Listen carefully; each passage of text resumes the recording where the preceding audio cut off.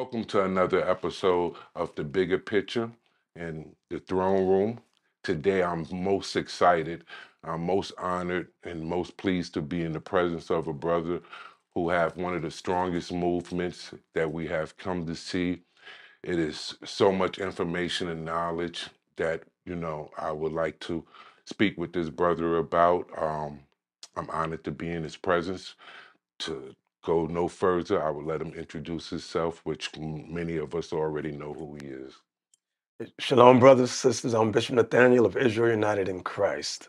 Pleasure to be here. I'm honored to be here, actually. And I'm honored that you're here. This means so much to me. When um, I got this phone call, it, it just like, it just mm, things like this that let me know that God is has light on me and maybe see what I'm trying to do Yes, sir. and see, you know, the mission I'm on. And I've always been watching you. And so it's just like, you know, this is just so honored. This is an honor to me. It means Oh, a lot to me, you know. So um without further ado, we, you know, could go into it. It's um some things that, you know, I just, you know, I I'm a work in progress. Let me make that straight. I am no one of you know high knowledge or anything like that. I listen, I learn. I was raised, you know, in a private school. You know, um, I don't know if you're familiar with Christ Crusade Academy, Soul Saving Stations, Okay. but um, in Harlem. But that's how I was raised. I was raised there from a baby. I did my whole school there. You know, it, you know that's where that's my background. That's where I come from. You know, but I listen, you know what I'm saying? I not take in the knowledge, you know what I'm saying? I'm trying to learn like anyone else. Yes, sir. Oh, praise. We all are. We all are. Exactly. So as long as that's Mhm. understood, you know. Um, but what I would like to ask you uh, to start out with is um, how do you come into your knowledge? Ah, that's a good story. Good story. Well, you know, my wife and I, we were, um, well, we were dating at the time we were married. Uh, we was both searching for the truth. And because we almost got hit by a cab. We was on Fifth Avenue walking, and the cab ran right up to us, about maybe five feet away, and crashed into the wall, smashed in the front. So I said, Yo, we almost died. I said, God's trying to tell us something. I said, We got to get our minds right. So we started going to different churches. And I'm sitting there, all the singing and dancing, jumping up and down. I'm like, "Mm." you get a good feeling, but I said, Hey, there's nothing here. You know, so from there we went to the uh, Nation of Islam, um, read Message to the Black Man, visited like uh, one of the mosques, I think it was uh, the one in Jersey, once, twice. Then I said, mm, I'm not feeling that second. There's something in there about um, Yaqub, uh, was it Yaqub, the big head scientist? Yeah. Cool. So I said, I don't understand that. I said, I can't, I can't mesh with that. So I left that alone. Then my, my godmother said, hey, uh, let's go to the um, Kemetic community. So we started following Dr. Ben, stuff like that. And I'm like, Egyptian, uh, Egyptology and all of that. I said, that was cool, but uh, cut that off for me. But that ain't it. So I'm at work one day. I was in a print shop, and my high school buddy named Black, he came in. I ain't seen him in, a, in years. So he said, "Hey, I need copies of this. You know, we, you know, how you doing?" Da, da, da. So I said, "I'll do. I'll do your work for. Don't worry about it." So I'm xeroxing it. So I looked. I'm reading the, one of the flyers as I'm copying it, and it said Jesus is black. I said, "Yo, what? What is this Jesus black stuff?" I said, "Jesus is a white man." He says, "No." He said, "You ever read the Bible?" I said, "Mm, "To be honest, no." I said, "But all my life, I grew up in the church." So he said, Well, listen, there's a lot to learn. And on it said, Christmas is of the devil. I said, What? What are you talking about? I said, No, that's Jesus' birthday. He said, Bruh. He said, I know. He said, I grew up the same way you did. I know. So after work, he came back and he showed me through the scriptures. And I was like, Oh, shoot. I said, I never read this. Showed me Jeremiah 10 about verse 1 through 5, how God says not to celebrate a holiday where you set a, a tree up in your house and decorate it with silver and gold. So I said, Well, that sounds like Christmas. I said, Okay. Then he showed me color in the scriptures Jeremiah 14 2, Jeremiah 8 21, Revelation 1 14, 15 about Christ, hair like wool, feet burned in a furnace. So I was like, Wow. I said, I want to learn more. So he said, Well, you got to go up to the school. This was 1990. So that's where it began. So my, my wife who later became my wife, my girlfriend who later became my wife, went with me up to the school, and it's been history from there. That we're the Israelites, the children of God, the God's chosen people in the Holy Bible, uh, who went into slavery for breaking God's commandments.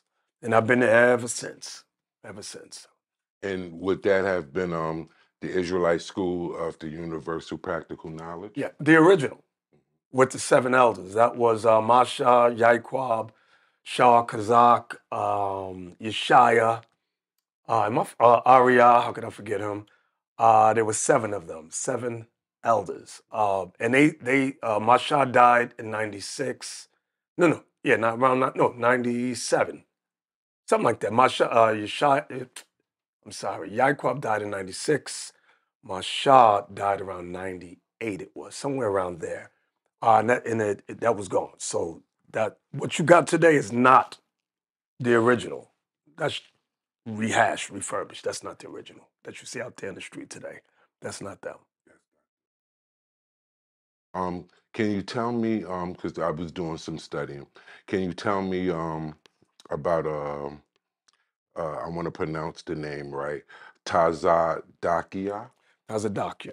Yes, sir. Yes, he was at the original school. He was uh, junior to me. He was my junior. And he worked with myself, uh, another brother named Bishop Yawasop in the video department.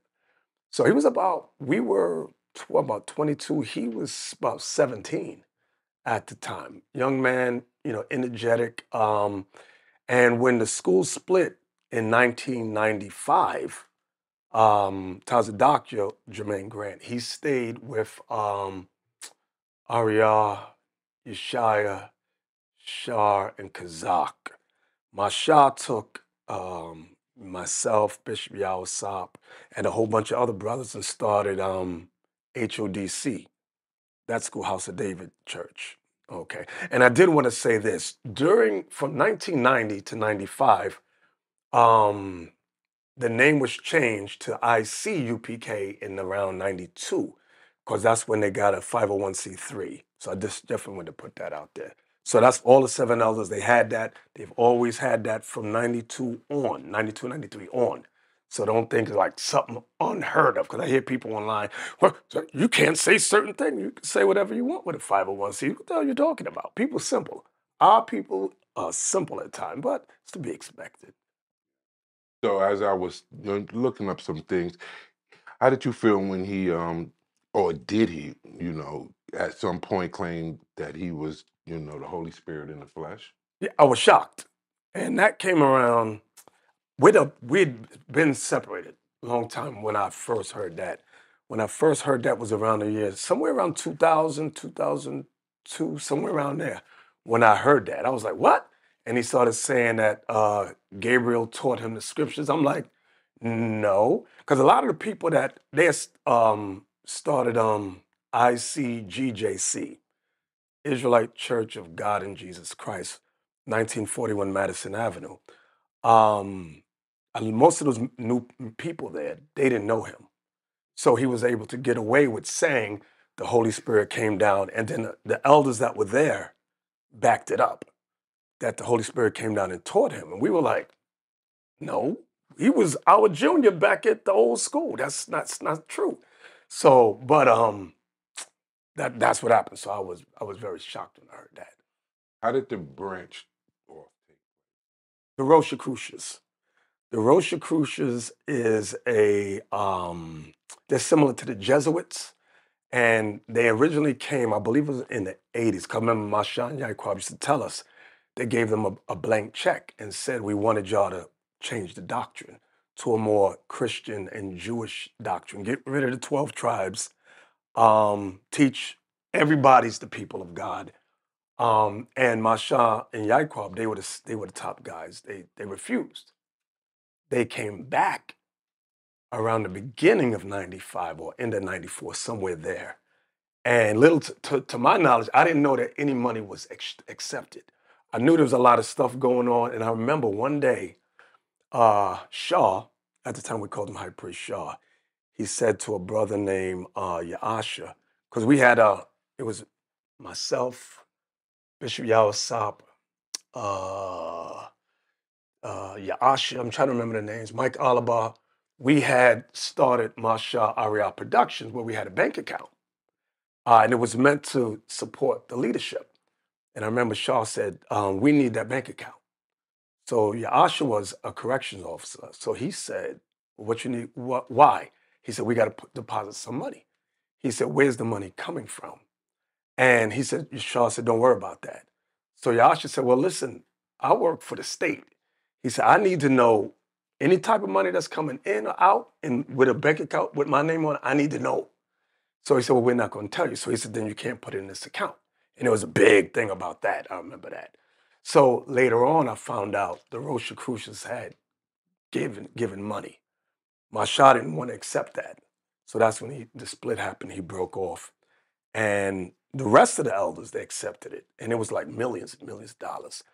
Because uh, if you remember, remember he got arrested, uh, got arrested for tax evasion on 5.3 million. Okay. So that's what occurred at that time. And, and believe it, the Rosicrucians are still around seeing who can be bought. And that's the money. People, you, if you got a price, they'll buy you and get you to manipulate you to teach what they want you to teach. Um, General Yohana, I was was General Yohana came up with you, or was you was you? Um, he was my senior. Oh, he was. He, he was, was my senior, back that's then. What, that's because he came in around in the '80s. I came in 1990. Um, when the split occurred, he stayed back with Tazadaqyah. Uh, uh, Arya, Shah, Kazak, Yeshai. He stayed back there. Masha took the rest of us and, like I said, set up HODC. Um, how did the how, how did you start your move? Well, IUIC was started in 2003.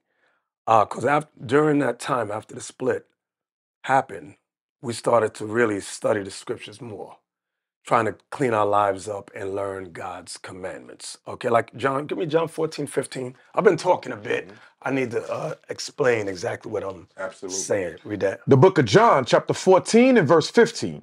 If you love me, keep my commandments. So that was one of the things that always stuck with me. Christ said, if you love me, keep my commandments. Go ahead. And I will pray the Father, and he shall give you another comforter, that he may abide with you forever. So we wanted the comforter. The comforter is not Jermaine Grant, Tazadaqyah. We knew it was the Spirit of Christ. Like in verse uh, 18, jump down to 18. Verse 18, I will not leave you comfortless. I will come to you. Christ said, I will come to you. So we knew that the comfort is the Spirit of Christ, the Holy Spirit. We want that. So we knew the stipulation was keeping the commandments. So we had this, we really got into the scriptures, learning the commandments. And um, there was a brother named uh, Amathia, I believe that was his name, if I'm not mistaken. They, a lot of the men with us didn't want to hear the commandments. So they kicked us out. So we didn't want to hear that. So we got kicked out. And we started, it was Asha Rahab, um, another brother from Colombia, damn.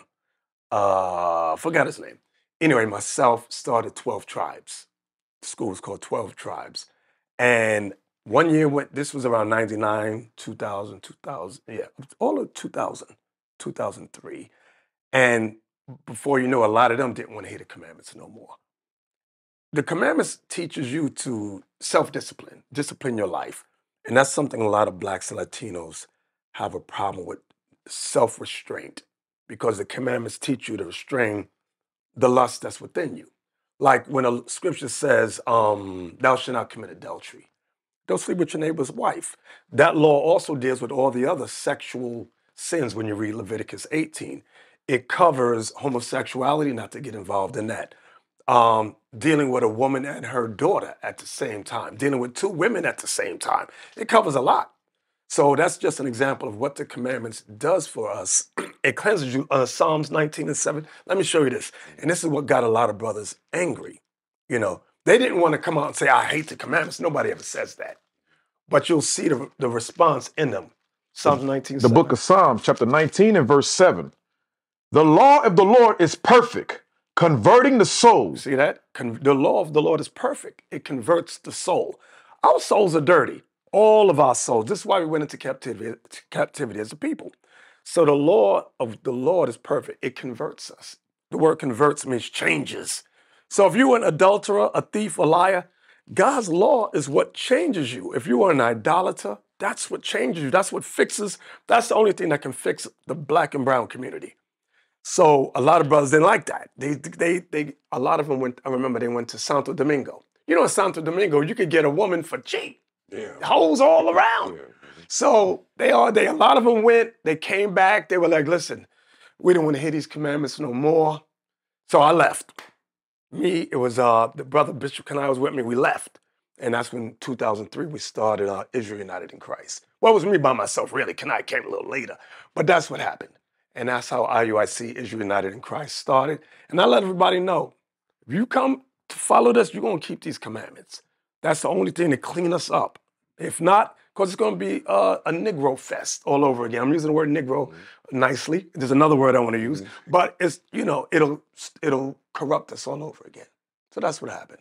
In my journey, one of the things that I I notice when I run across people because I get so much bashing on the internet because of my stance on Christ, my stance on the scriptures. Mhm. If those that are in sin, if they reject scriptures, it allows them to live comfortable. Mm. See, it's hard to accept God as we know him to be, Mm. the God of Israel, and live in sin comfortably. So if you just reject it altogether, that that's just, you know, whatever it is, it allows you to live more comfortable in your Right. sin. My position is is that um when I look at it is that, you know, the commandments is definitely there for us to convict us, Mhm. you know. But do you feel that we could follow as fleshly beings that we could follow all the commandments without flaw? Uh, yes, I believe so. I'm, I'm gonna give an example. When you look at Leviticus 18, I'm gonna give you a look. I remember when we was teaching in Jamaica, a young man said something very similar today. He said, "It's too hard, man, to keep the commandments." Give me one about the woman. Verse 20, 18, around 23, somewhere around there. Leviticus chapter tw- 18, verse 20. Is that the one about the beast? Yes. Verse 23. Neither shalt thou lie with any beast to defile thyself with. Neither shall any woman stand before a beast to lie down thereto. It is confusion. So I asked the brother, I said, Is it too hard for you not to have sex with an animal? You mean to tell me that's too hard? He goes, No, I'm not. I can keep that. I said, So what's hard? He goes, I, I, I don't know. He didn't have an answer. But we've heard that in church all our lives. It's too hard. Now I know brothers make mistakes. I know brothers be, if especially single brothers, mm-hmm. they'll be on backpage.com looking for some butt. I, I know old that. school. Yeah. So yeah, old school. So I'm aware of that. But there's something called repentance. Absolutely. You know, you fall, scripture says a righteous man falls seven times and he gets up. absolutely. But don't make that your lifestyle of committing adultery. Don't make it a lifestyle of prostitution. Like uh, Corinthians chapter 6. Let me show you about dealing with prostitutes. Um, and I'll say this about prostitution. Some brothers, there's some brothers in the Israelite community who buy prostitutes. And you know what I want, right? Chapter 6, Six around and, uh, 17, 17. somewhere around there. First Corinthians chapter 6 and verse uh, 18. Okay. Flee fornication. Read above that. Verse 17. But he that is joined unto the Lord is one Nope, spirit. above that. Verse 16. What? 15. Know ye not that your bodies are the members of Christ? Shall I then take the members of Christ and make them the members of an harlot? a harlot's talking about a prostitute, a woman, and a harlot, and she ain't got to be the, the girl on the corner selling her butt. She could be the girl next door. All you got to buy her is a Happy Meal. She'll give you some butt. Go ahead. God forbid. Mm, God forbid. The answer is no. What? Know ye not that the that he that which joined to an harlot is one body? For two so said he. Come on, stop, stop. Read it right. What? Know ye not that he which is joined to an harlot is one body? Right. For two, saith he, shall be one flesh. Right. But he that is joined unto the Lord is one spirit. Mhm. Flee fornication. That's what I wanted. Flee fornication. So fornication is dealing with a woman that's not your wife. You're going from woman to woman to woman. That's fornication. And as young, especially young men, I let the young men know. I said, listen, you're not of an marriageable age. You don't have a job to take care of yourself. Abstain. You need to live an abstinent life until you're able to provide for yourself, get your mind right. Then you can take care of a woman and a family. Because once you say wife, you're saying mother. That involves children. You got to be able to provide. And that's not been taught in the in the Christian or black community. As a young man, I grew up. They t- you know, you the more butt you get from a woman, that makes you a man. That's not what the Bible says. You know, Proverbs 12 and 8 says a man shall be uh, counted worthy according to his wisdom, but that's not taught. You understand? Read that Proverbs uh, 12 and 8 for me real quick. Sure. Come on. The book of Proverbs, chapter 12, and verse 8. A man shall be commended according to his wisdom. See, a man shall be commended according to his wisdom. Today's society, a man is commended according to how many women he had. You had 20 women, whoa! You know, and it, and and that's how you're known as a man. Like uh, I have children, right? Yeah, they all have children. We we let all the young men know, all the women, brothers that got kids, there's to be no boyfriend and girlfriend. Your daughter should not have a girl. Your go- daughter should not have a boyfriend. Uh, your son should not have a girlfriend. All that deals with prostitution. I'm gonna explain myself. God, know people look at me. What you talking about? Leviticus 19:29. Let me show you what I mean by that. The book of Leviticus, chapter 19, and verse 29. Do not prostitute thy daughter to cause her to be in whore. Now, when we were young, when I was, at least I'll use me for example. I won't use you. Myself, as a young man, when you have a girlfriend, right? You take it to the movies. You didn't go there to watch the movie. You sat in the back. Then you come back to your homeboy. They said, "You get something?" Go, yeah, smell my fingers, smell my fingers. You know, stuff Yeah. like that. Yeah, of course. You're Mhm. prostituted. As lo- as long as you have, if there's a girlfriend, she's your hoe. You're not with her. I'm 15. Well, I'm, I can't take care of no wife. That's my Henry asking me, Whitfield, that's my girlfriend. You fingering her, you popping her, you sexing her. You understand? Mhm. It's all prostitution. Okay, or falls under that umbrella of prostitution. And because a lot, and that has to be taught in the black and brown community. We're not taught that. We're taught the sexier the girl is, the better. No, no, that's whoredom. Because when you read the verse in its entirety again, watch what it says. Leviticus chapter 19, verse 29. Do not prostitute thy daughter to cause her to be a whore, lest the land fall to whoredom and the land become full of wickedness. The land become full of wickedness. A lot of young girls today, where they get the STDs, the genital warts? Because young men was having sex with them. Left and right. We wasn't sexing them to marry them. We were just sexing them just get our rocks off. Little bit of pleasure. Five minutes of pleasure. That's all I want. And now diseases in the, in black and brown community. And we go, why is this happening to us? Why are we suffering like this? Because we're breaking God's commandments. And until we come back to them commandments, we're going to stay on a low state. So I let my daughters know that no boyfriends for you. My sons, no, no girlfriends for you. Not until you come of age and you get married. That's the law. That has to be taught. Yeah, I definitely accept that. But let me give you a little history on me. So, um, me and my queen, we've been together since I was 15 years old. Mm. And the moment, the first time that I ever laid eyes on her, the first thing that came out of my mouth to my partner was, "That's my wife." That's good. Oh, praises. So, I- however that might, you know, Mhm. work out, you know, that yeah, that's from 15 years old. From Right. child, we I was like, uh, I we I like to joke about like Urkel and Laura. You know, what I'm? You know, Yeah. that that was very much me, and I, I Mhm. was like a nerd, you know, private school. She went to Catholic school. She was, you know, too, but she was hip. You Mhm. know, what I'm saying I wasn't hip. you know, what I'm saying I was, you know, a nerd, and she was popular, and you know, and Mhm. you know, but I knew it was from God, you know. I mean, the moment the door opened up, because he was dating her best friend, Right. you know, set us up, you know. And the moment the door opened up and I looked at her, I turned to him. Oh, praise. That's good. Uh, And y'all been together since then. Since then, That's good. you know, That's good. saying all all of these years, we've had our ups and downs, but Mhm. yeah, we've been together all of, all of these years. Oh. I've been with my wife since 19, 19 yeah, years so old. So. I'm sure you understand. Yes, you I understand. So, with that being said, um, what's your position on the sanctity of marriage? Hebrews 13 and 4. Watch that. I'm gonna always let the Bible speak, unless you ask me As we, something. as we, as we should. Yes. The book of Hebrews, chapter 13 and verse 4.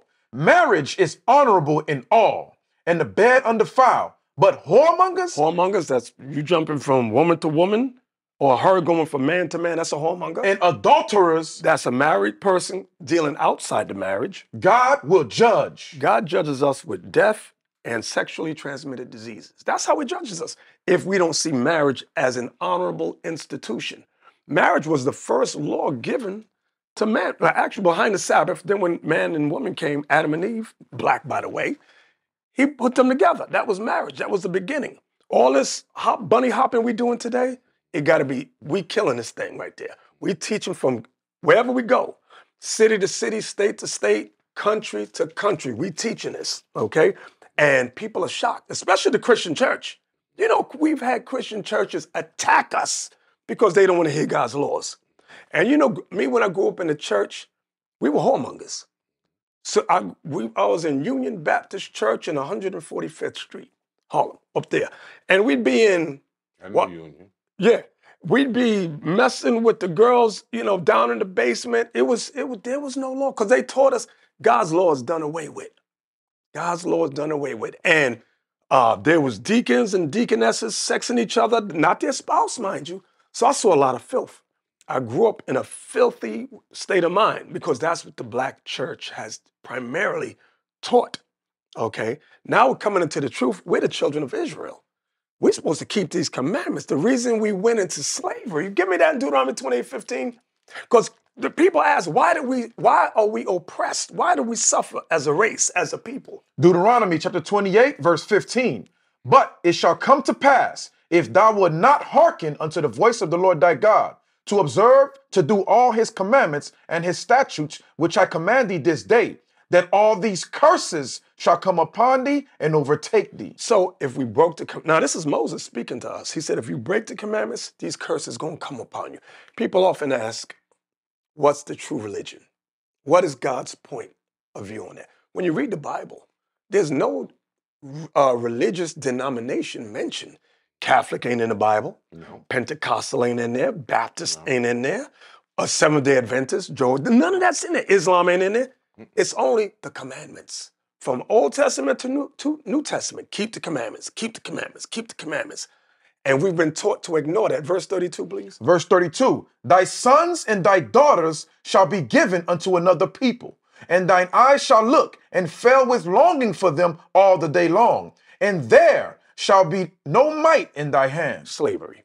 Talk about slavery. So this is why we as a people have gone from, been taken from the continent, taken from to country to country to country, because the sub-Saharan slave trade, they took a lot of our people to Saudi Arabia, Pakistan, Turkey, Iraq, Iran, India, and they're forgotten. We just started reaching out, going to uh, Pakistan and India, finding our people over there.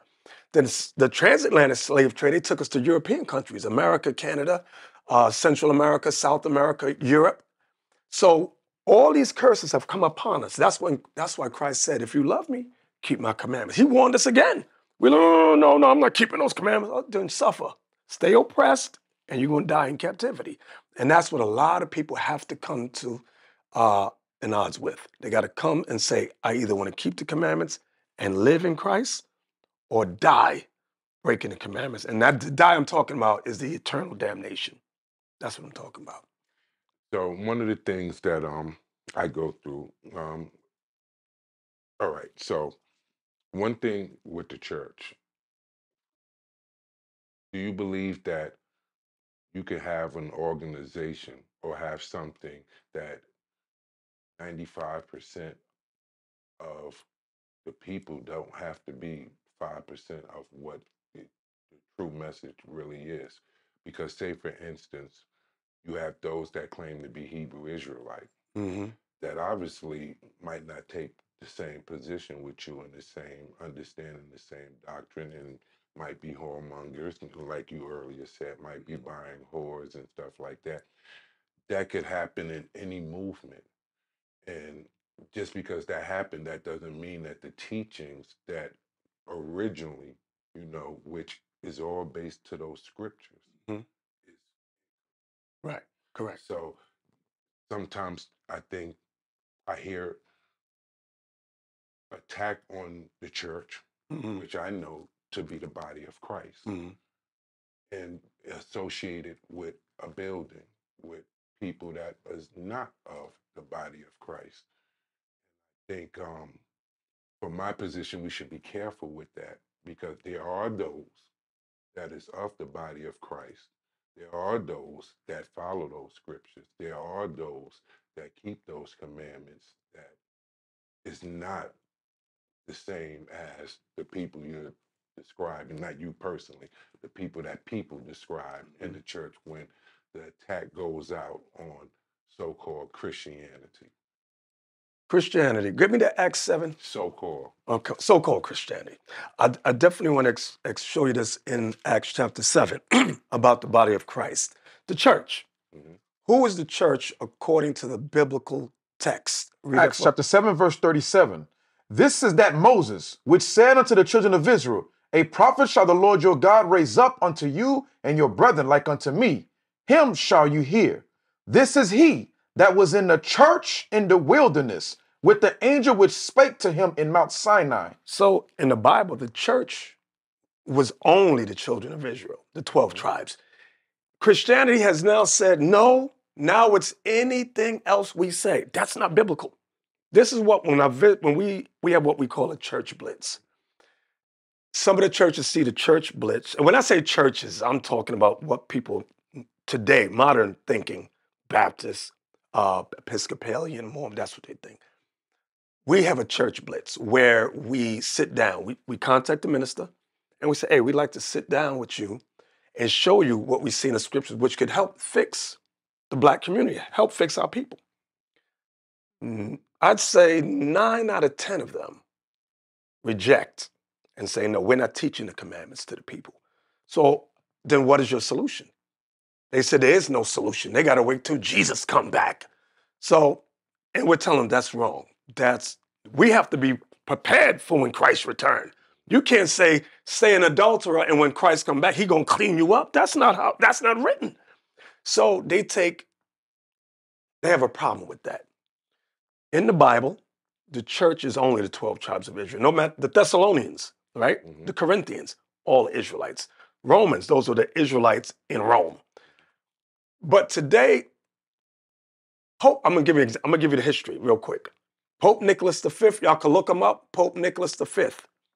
He wrote a papal bull and said, enslave anybody that does not follow our form of Christianity, which was white supremacy, white Jesus, white angels, white God, white Jews. If you didn't follow that, they said enslave them.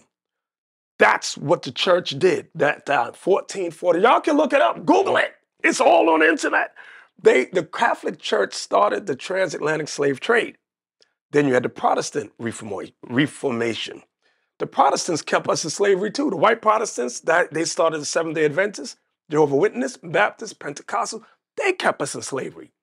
So all that we know in our mind as the church, those are the people that enslaved and destroyed our understanding, destroyed our mentality, destroyed our families, even until this day. And, and now they allow us to come up. You could be a preacher now Mm. as a Pentecostal preacher, but they keep the same rhetoric going. Uh, Jesus is white. All right. Now the Israelites were on the rise, and we challenged the, the pastors. Jesus is not white in the Bible. You know what they say? It doesn't matter what he looks like, it's his message. But then here's a question if they gave us a false Jesus, you think they gave us the true message? I'm gonna show you that. Watch this 2 Corinthians 11 and 4. I got to show you this. I need everybody to pay attention. False Jesus means false gospel. Watch what it says. The book of Second Corinthians, chapter 11, verse 4. For he that cometh preacheth another mm-hmm, Jesus. Read it right. For if he that cometh preacheth another Jesus, whom we have not preached, For if he that cometh preaches another Jesus, whom we have not preached. So let's pause there. Where in the Bible does it say Jesus had pink skin, blonde hair, and blue eyes? It's not in there. Read it again. For if he that cometh preacheth another Jesus, whom we have not preached, or if ye receive another spirit, which ye have not received, So what comes with another Jesus? Another spirit. Go ahead. or another gospel, which ye have not accom- accepted, ye might well bear with him. What comes with a false Jesus? Another spirit and another gospel. So the gospel that our people are following, a Caucasian man saving black people. No, it's not. It's not Bible. You got. You were taught a false Jesus, which means how did they keep us in slavery then? Where was with the chains on our necks and arms? Where was for God so loved the world then? That was never preached to us. We were we were slave chattel, okay, cattle as they call it. We were property. So for God so loved the world, He gave us own. That didn't apply to us for centuries. Now when we got emancipated, and we're saying, hey, remember Marcus Garvey was coming up, many black revolutionaries. So they say, hey, we got a new plan. Got a new plan for use John 3:16. That's what the church did. Use v- verses on love to get them black people in order, get them subdued again. You had the Klan come up. You had va- these various church groups, and they said, okay, we're all one. We're equal in Jesus now. Oh, now we're equal in Jesus. So, eh, but they never taught us we're the children of Israel. We're the people that were with Moses. So they're still lying to us to a large degree. And it keeps us subdued to their feet. But now this truth is coming out. No, no, no. We're more than Negroes. We're the Israelites. We're the people of Jesus. We're the people of Moses. We're the people of Abraham and Isaac and Jacob. Now, like Putin, you saw the news? Putin. Putin opened the vault. Bam! He said, Jesus has always been black. And it's like, wait a minute. If Jesus is black, that means his people are black. And that means when he returns, there's going to be a judgment for enslaving his black people. And nobody want to talk about that. Putin playing games with people, bro. no, that, that's very powerful. The Putin thing. Um, I would like to. Uh, so, you said that you was raised in church. yes. I would think back to like your grandmom. You was you did did you was she a strong Christian? Yep. hmm Did she follow the scripture? She would read the scriptures. She always had the Bible. She'd be like this, just read it. And she would read primarily John 3 16 mm-hmm. over and over and over. So when I would ask, you know, kids, you ask questions. What does Jesus look like? What does God look like?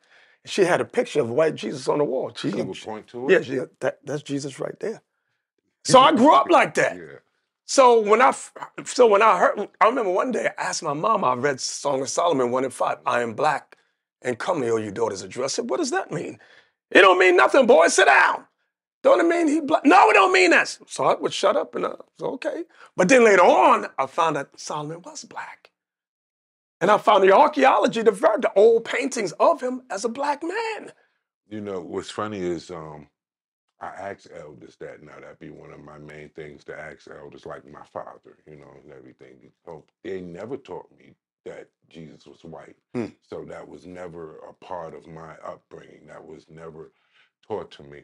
And some of the most strongest Christ-like people that I have ever met, you know what I'm saying, that I honor, that I only could like look up to and hope that I could get on their level are in those scriptures, Mhm. you know. So again, when I can never cast them out and I can never associate them with these other people, you know, and I think it gets bunched together. It should not be bunched together just like the Hebrew Israelites that practice one way shouldn't be bunched together with the whole thing because one of the questions I will ask you is about ma- you know, again we were speaking about marriage. Mhm. Can I have a wife? Can I go marry another wife? Well, go, get that in First Timothy. Well, here's the answer. Mhm. First Timothy three. Book of First Timothy, chapter 3 and verse 1. This is this is a true You know what I like better? I like 1 Corinthians 7 and 2 better. Oh, yes, sir. First Corinthians chapter 7 and verse 2. Nevertheless, to avoid fornication, Sexual sins, to avoid sexual sins, let every man have his own wife, and let every woman have her own husband. now Timothy 3 and 2. First Timothy chapter 3 and verse 2. A bishop then must be blameless. The husband, The word bishop means head or leader. Go ahead. The husband of one wife. So now people go out and do whatever they want, but it don't change what's written. I understand. You know? but I've had, again, so called Hebrew Israelites Mm. try to take my head off and tell me that you can marry more than one wife. Mm. I had brothers right online, right on the internet, battle me about these same, you know, issues, but I don't bunch them together because now you're explaining to me something that is in alliance with what I mm-hmm. understand yes. about the scripture. So exactly. that's just to show you it all shouldn't, you know, I don't think it all should be bunched together. I understand what you're saying. I was I would I would word it like this. There are people in our lives, like my grandmother, people even at Union Baptist Church, that I love dearly. But at the same time, no matter how much I may love somebody, I gotta I gotta start with myself first. Compare. I gotta measure my life. Give me that 1 Corinthians 15 and 3 about you know uh, examine. Yes. You know what I'm talking about? First, second, first 13. and 13 and 5. Thank you. Okay. First, Second Corinthians chapter 13 and verse 5. Sorry. Second Corinthians chapter 13 and verse 5. Examine yourselves whether you be in the faith. So now, starting with me, I got to examine myself. I could say I'm a God fearing man. But when I'm studying the scriptures, looking at the law, I have to compare my life to this, what this says. And it's going to be two decisions I have to make. Either I'm going to conform to what God says, or I'm going to close my eyes to what He says and do me. And that's what I see with a lot of people that I love. I may love personally. I may love my grandmothers, which I do, grandmothers, my grandfathers, aunts, uncles, people in the, in the church. But when I look at what God says and I look at what's being done and said, I'm like, no, that's not what this says. So that makes a distinction. That's what we all got to do, you know. Like some people, like in the church, they eat uh, unclean foods, and I, by reading the scriptures, you know, like pork is an abomination to God. Say, oh, no, we're not supposed to eat. That. I grew up on eating pork, chitlins, and all of that. I didn't. I did. Down south, grew up in the south. So all that was there in the Bible. And I'm like, but we're in church eating pork. And I'm like, wait a minute. This says we ain't supposed to be doing that. So that's just an example, the, which goes with, I like um, you keep saying some. Hmm? I like you keep saying some. yeah, yeah, yeah. Because there may be people, you know, I don't know everybody on the planet Earth, Yeah. but I know, like when I go, I went to Ghana for a couple of years, visited a couple of times in years. I seen Caucasian images of Jesus all throughout the black continent. And the churches would they had white Jesus billboards. They had waters with white Jesus on the water. And I'm like, who is this guy? They go, Jesus. I'm like, that ain't in the Bible. So these are just examples. And it'll be people you love that you adore. But don't let your love for anybody make this right. Exactly. Doesn't over Trump scripture. Exactly. Don't trump scripture. Um, uh, who is Jesus? Christ is, give me that John 1 and 1. John 1 and 1. We all know this. Christ is the Messiah. He's the Son of God.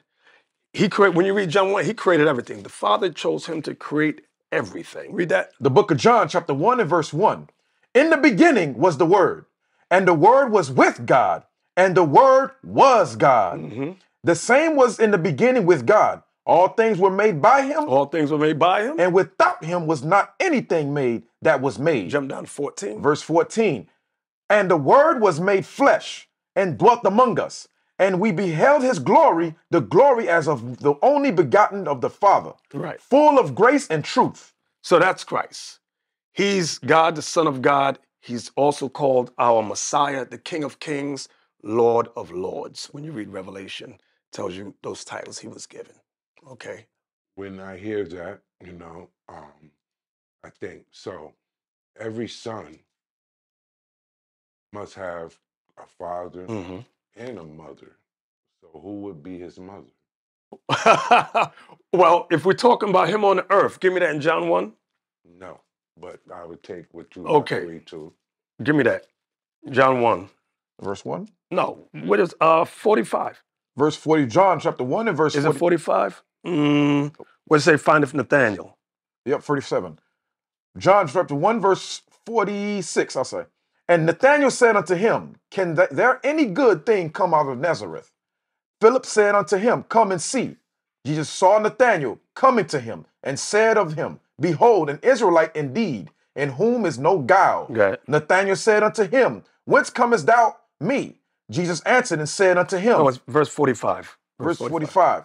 Philip findeth Nathanael and said unto him, We have found him, of whom Moses in the law and the prophets did write, Jesus of Nazareth, the son of Joseph. That's what I wanted. The son of Joseph. Because that's another um, thing that we were taught in the church uh, that Christ didn't have an earthly, I'm talking about earthly right now, earthly father, uh, that he was of immaculate birth, uh, meaning no earthly father, which goes back to Egypt with uh, Isis, Horus, and Ra, which goes to Babylon. You had Semiramis and uh, Nimrod and Tammuz. All of those are old religions that was incorporated today into what they call modern uh, Christianity. Okay, but back to your question again. I, this is that question is the same question that I would ask minister, one of these, like you said, Baptist, Pentecostal, Mhm. anyone that says, because you know, again, I don't claim to know anything. You know Mhm. what I'm saying? I study the scriptures and I have questions. Right. You know, and I would like to have understanding so I can come into the light like anyone else. I'm Yes, sir. Work in progress. When I hear son, it's just logical. Mhm. If he is the son, and you quoted scripture that he created existence, he Mhm. created every the heavens, the earth, and everything under the earth. Who's his mother? Because if he's the son, has a mother. Well, when you read, go to Genesis with Adam. Let me show you this. We can't, what we try to do is compare the, the way flesh is to spirit. Spirit and flesh, two separate things. Okay, I'll give an example. Wait, before you get there, let me show you Melchizedek, what it says about him. Uh, Hebrews chapter 7 and verse 2 and 3. Hebrews chapter 7 and verse 2. To whom also Abraham gave a tenth part of all, first being by interpretation king of righteousness, and after that also king of Salem, which is king of peace. Watch this. Without father, without mother, without descent, having neither beginning of days nor end of life, but made like unto the Son of God, abided a priest continually. That's in the spirit realm. The spirit realm does not operate like the flesh. In the flesh, from the time of Adam and Eve, you got to have a father and a mother. But that's not in the spirit realm. Okay, that's not how the spirit realm operates. We want to make it so, but that's not how it is. So you would say he has no mother, just Right. a father. Right. Father create everything. He's God. Like when you read, it says, let us make man in our image. I mean, it's plural, Mhm. meaning more than one. Okay, get that for us? Genesis chapter 1 in verse 6. And God's, well, in verse uh, 26. 26. Revelation, I'm Genesis chapter 1, verse 26. And God said, Let us make man in our image, Mhm. after our likeness, and let them have dominion over the flesh, I'm sorry, over the fish of the sea, and over the fowl of the air, and over the cattle, and over all the earth. That's all I wanted. And give me second Ezra 6 and uh, 3. Watch this. the book of Second Ezra, chapter 6 and verse, you said 3? Yep. Verse 3 Before the fair flowers were seen, or ever the movable powers were established, before the innumerable multitude of angels were gathered together. Even the angels were not made with mother and father. The Lord made them because when you read the verse above it, read the verse above it. Verse 2 Before it thundered and lightning, or ever the foundation of paradise were laid. So it's telling you the beginning of everything, and it tells you about the innumerable number of angels that was made. They didn't have a mommy and daddy like the way we think mommy and daddy. It was not. It's not like that. Okay, and that's what we're going to learn more of when the Lord returns. We're going to see that. Good, that's a good Mhm. answer. You know, like I'm just trying to understand. Yes, sir. So, um, one of the questions that I have is, um, does God have a wife? Does God have a wife? It's not written in the scriptures that He has a wife. Oh, us. So, but give me that. Give me that Jeremiah. I'll, go to, that's, I'll go to Jeremiah three fourteen. The book of Jeremiah, I'm- chapter Well, you go ahead, read it. chapter 3, verse 14. Turn, O backsliding children, says the Lord, for I am married unto you. Yes. So the wife is the children of Israel.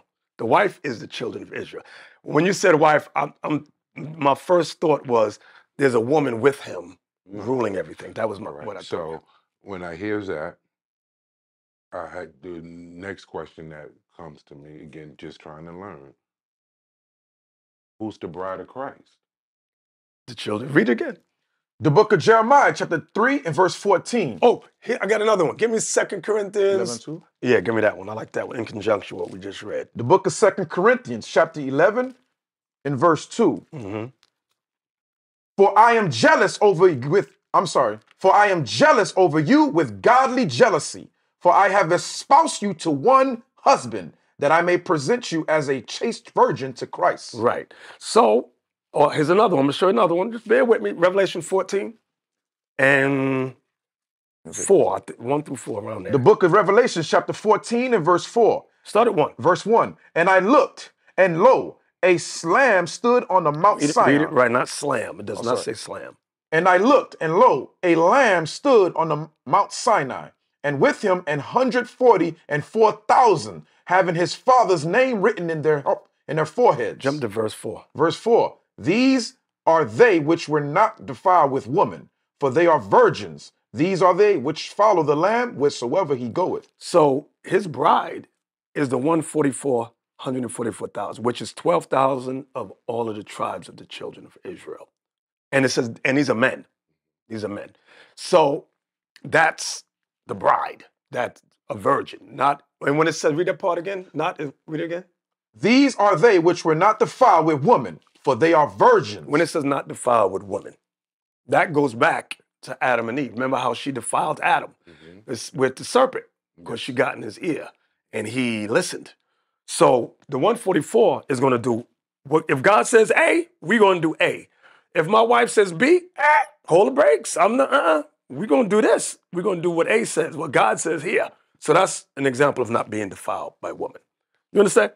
Yeah, Okay, good. I'll praise. yeah. I trying, that's why I'm trying to understand, you know, because um, so the 144,000, hmm which could be depicted as Israel, Which is Israel. you know. Oh, I'm like, wait, wait, wait. You say could be depicted.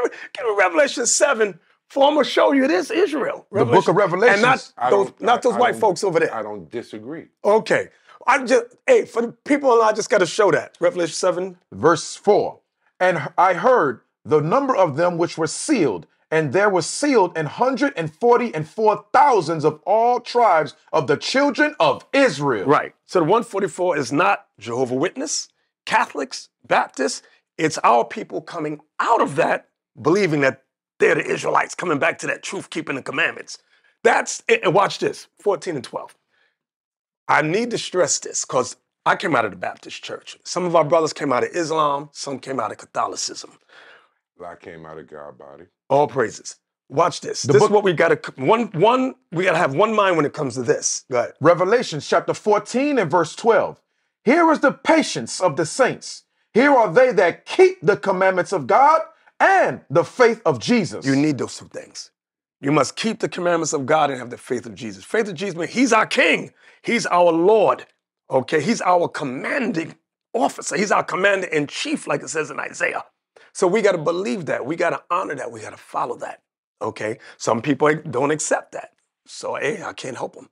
I accept it totally. I just I asked that question because again, for me, I want to understand if God says, God the Father says, Israel, you are my wife, Mhm. but then the bride of Christ, from my understanding, the son cannot marry the father's wife, which would be his mother, you know, like Mhm. so who wife is who? You know, Oh, look, I'll- I'll explain it. or is he the son wife? Uh, let me explain it. Get me John 8. I got to show you. This going to shock some people. This going to shock some of y'all. Just bear with me say John 8 before Abraham. Okay, 50. The book of John, chapter 8, verse 58. Jesus said unto them, Verily, verily, I say unto you, before Abraham was, I am. Before Abraham was, I am. So Christ says, I am, Exodus 3.14. Now here's a precept. The book of Exodus, chapter 3 and verse 14. And God said unto Moses, I am that I am. And he said, Thou shalt thou thus thou Read thus. Stop. And God said unto Moses, I am that I am. That's all I want. I am that I am. So who was that speaking? That was Christ speaking. Absolutely. Yes, that was Christ. So he's letting you know from John 8. He said, Oh, the, the one you thought you were speaking to in the wilderness, that, that was me. Okay, he's he's letting Israel know that. So, like, and people argue about uh, God's name, Yahweh, which is the Hebrew term of Jehovah, which is I am or He is. That was Christ back then, speaking to us, and that's what some people don't understand. Totally with you. oh, praise! You know what I'm saying? I'm, to- I'm totally with you on that. You know, one thing that um I was reading a quote, and I love it. Frederick Douglass said, um, he said it's easier to build um strong men, strong boys, than it is to repair broken men. Our people, the men talking about, are broken, broken mentally, broken spiritually. And it's like we're getting, we're trying to put the piece, putting glue to put their mind back together because we're all fragmented. We've been divided uh, with nationalities. Yes. Uh, these are all plots of Satan. We've been divided by nation. Like, for example, he come from Haiti. I'm from America. Let's say you're from Jamaica. We all three of Barbados. We're all three on the same slave ship. They say drop this one off. Now let's say we're all brothers, they, which we are. Drop him off in Haiti. Drop him in America. Drop him in Barbados. Now we go. We think we're three different people. We're broken. That's uh, nationality nationalities. Then the white man says, let's give, in case that doesn't work, give them different religions. You Catholic, Baptist, Pentecostal, or Islam, whatever. Then political groups. Republican, Democrat, conservative, whatever. And we and we all and all those three things I mentioned, we argue. When Ephesians, watch this, Ephesians 4, watch this. I need everybody to pay attention. Ephesians chapter 4, verse 3. Now I give you three examples. They divided us um, with our nationalities, divided us religiously, divided us politically. But watch what Ephesians 4 and 3 says. The book of Ephesians, chapter 4, verse 3. Endeavoring to keep the unity See the word unity? of the Spirit in the bond of peace. Right. There is one body There's one body, and one Spirit, one spirit, even as ye are called in one hope of your calling, one hope of your calling. one? Lord, One Lord. one faith, One faith. one baptism, One baptism. one God, One God. and the Father of all, who is above all and through all and in you all. Unity. Absolutely. This Bible is about the unification of the 12 tribes of Israel. And what we tend to do, we allow ourselves to remain divided. Although this book unites us, if we follow the same precepts, it unites us. But what happens is, if I like adultery, I'm not going to follow that. Our people in the in the world, okay, that don't really deal, they they they remain divided in these various religious groups, and we sit down with Catholic ministers, Baptist ministers, Pentecostal, and we say, hey, we're the Israelites. That's the unifying force, us keeping the commandments in Christ. That unifies us. No, I don't accept that. I was born a Baptist, I'm going to die a Baptist. And it keeps the dysfunction in the black community. We're broken. What one of the questions I want to know was, you know, I definitely, I, I, if you follow, I definitely, right, what make us an Israelite? Our bloodline. Okay. Not only the bloodline, because watch this. Let me show, give me that Leviticus uh, 26, 46, and I'm gonna show you Mhm. the spirit. Leviticus 26, Leviticus, it's around 45 or 46. You know what I'm talking about?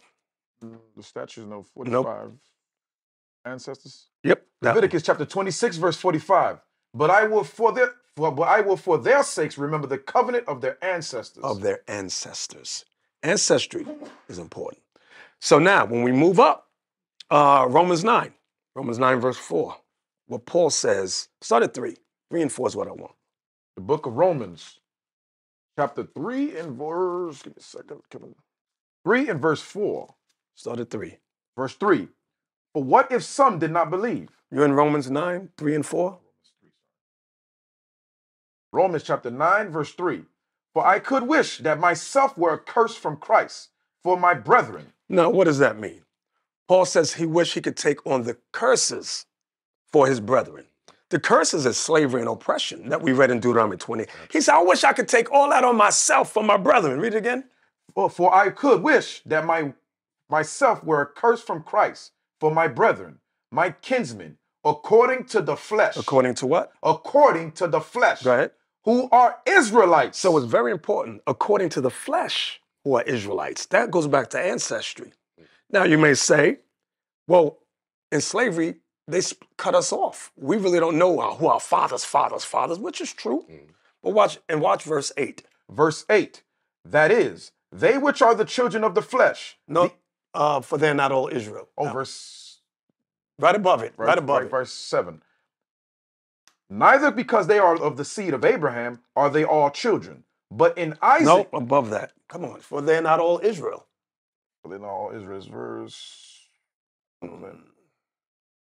It's right around here somewhere. Let me look for it. Verse 11.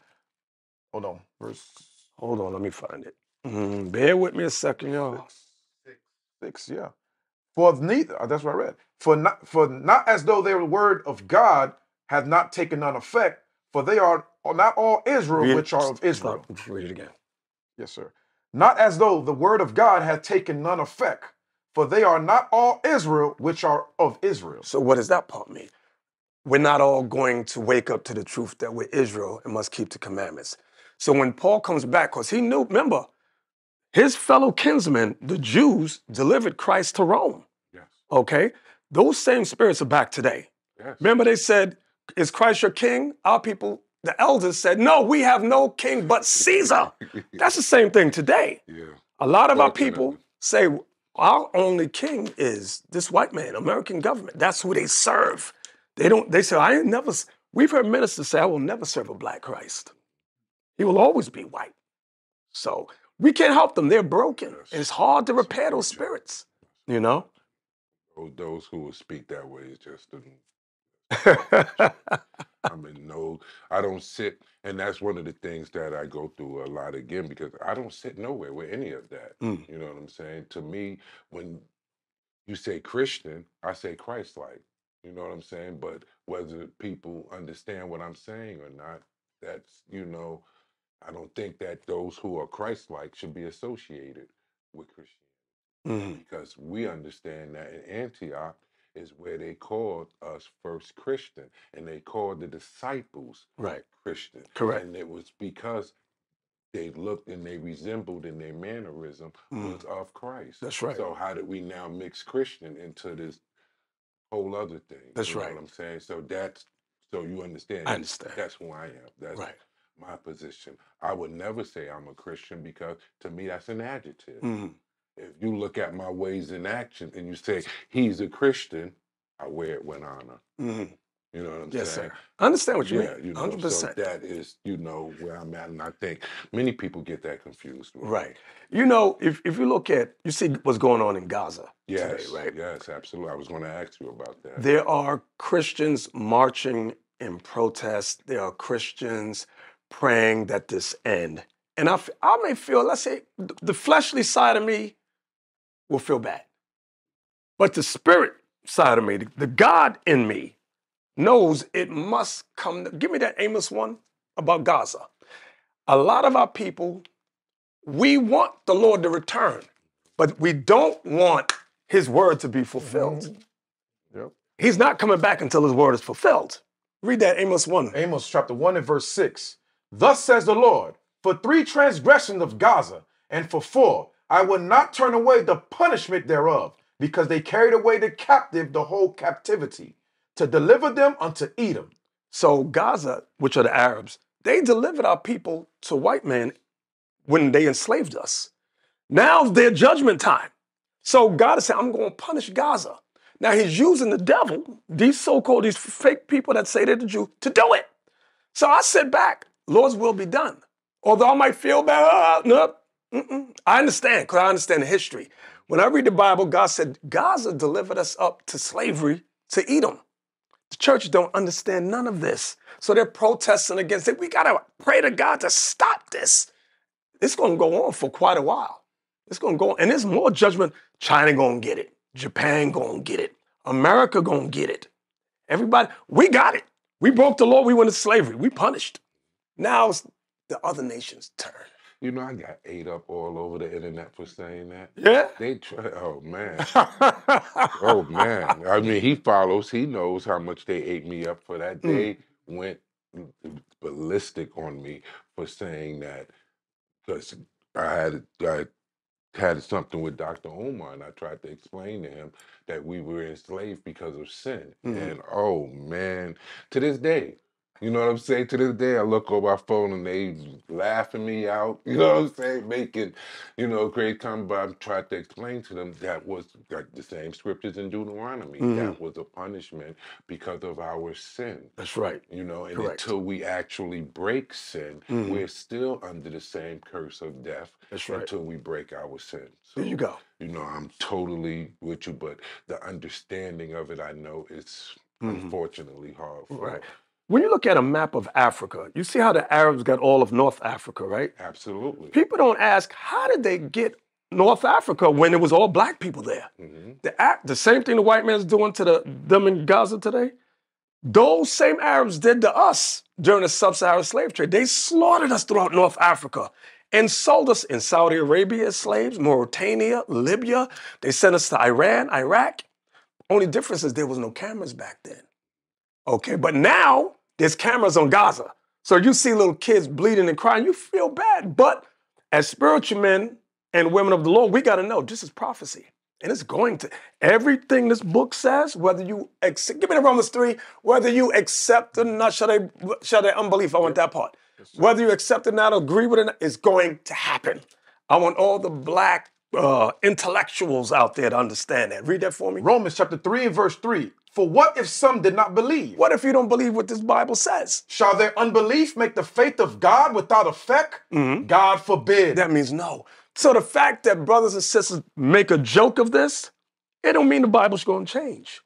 They laughed at when we came out of Egypt. Moses said, if you break the law, you go into slavery again. We said, ah, we didn't believe Moses.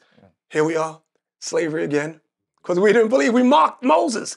Okay, remember the, during the time of Christ, they said, let his blood be on us and our, children. Look what happened. Rome destroyed us. So many of our black intellectuals, they mocked this Bible, but the joke's on you. They wanted to worship Baal. Mhm. Now, another thing about our black intellectuals, this is our these brothers that speak very eloquently.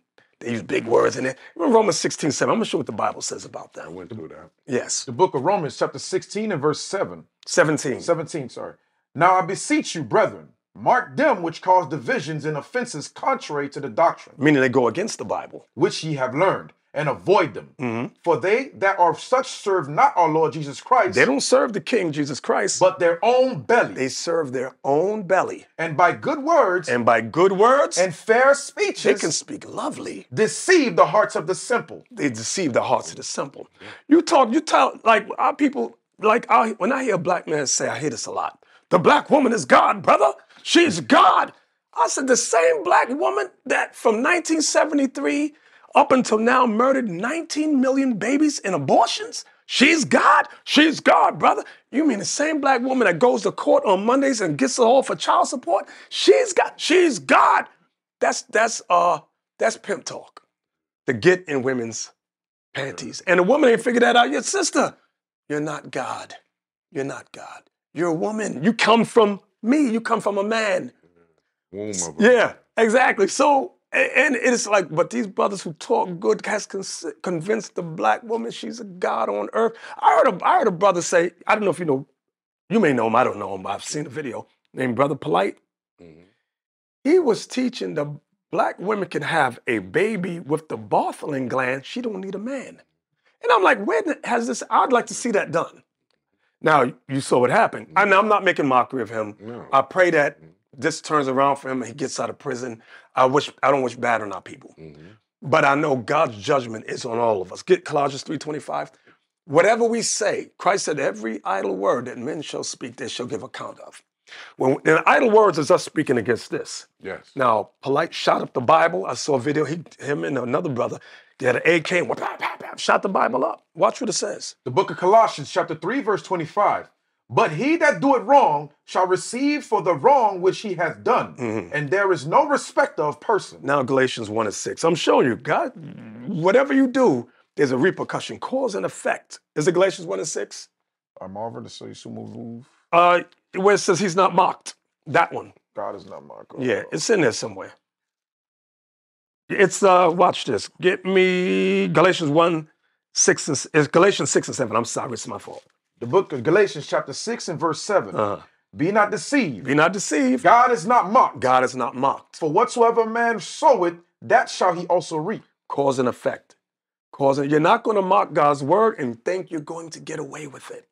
Okay? And that, that's the mistake a lot of our people do. Well, I don't believe that Bible. Ah, ah, ah, ah and then things happen. You know, most high God, he's going to show you his power. You're either going to accept it or not. You know? Yeah, unfortunately, a lot of our people was, um,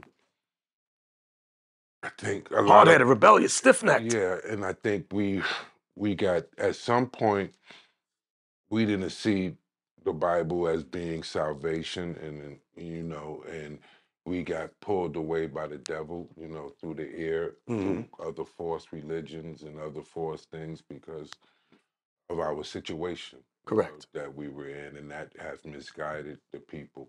Then a lot of the, the grandmothers, Mhm. the grandmothers that we knew to be strong died, you Mhm. know, and the generation after them, something happened there, you know. Um, at some point, we can never erase the crack ep- epidemic. Right. That affected our people hmm in a way that, you know, is almost no way to come back from it. Right. The Um, American government did that to us. They put and that in our at communities. the same time that they affected us with the crack, they affected us with rap music, hmm you know, and Not conscious yeah, rap. not conscious Right, rap. I'm right. not talking. I'm talking about the gangster rap, Yes. the rap that took black love off the table. That's right. You know what I'm That's right. saying? And made us start looking at black women as whores, and it ain't no Mhm. fun unless my homie have some.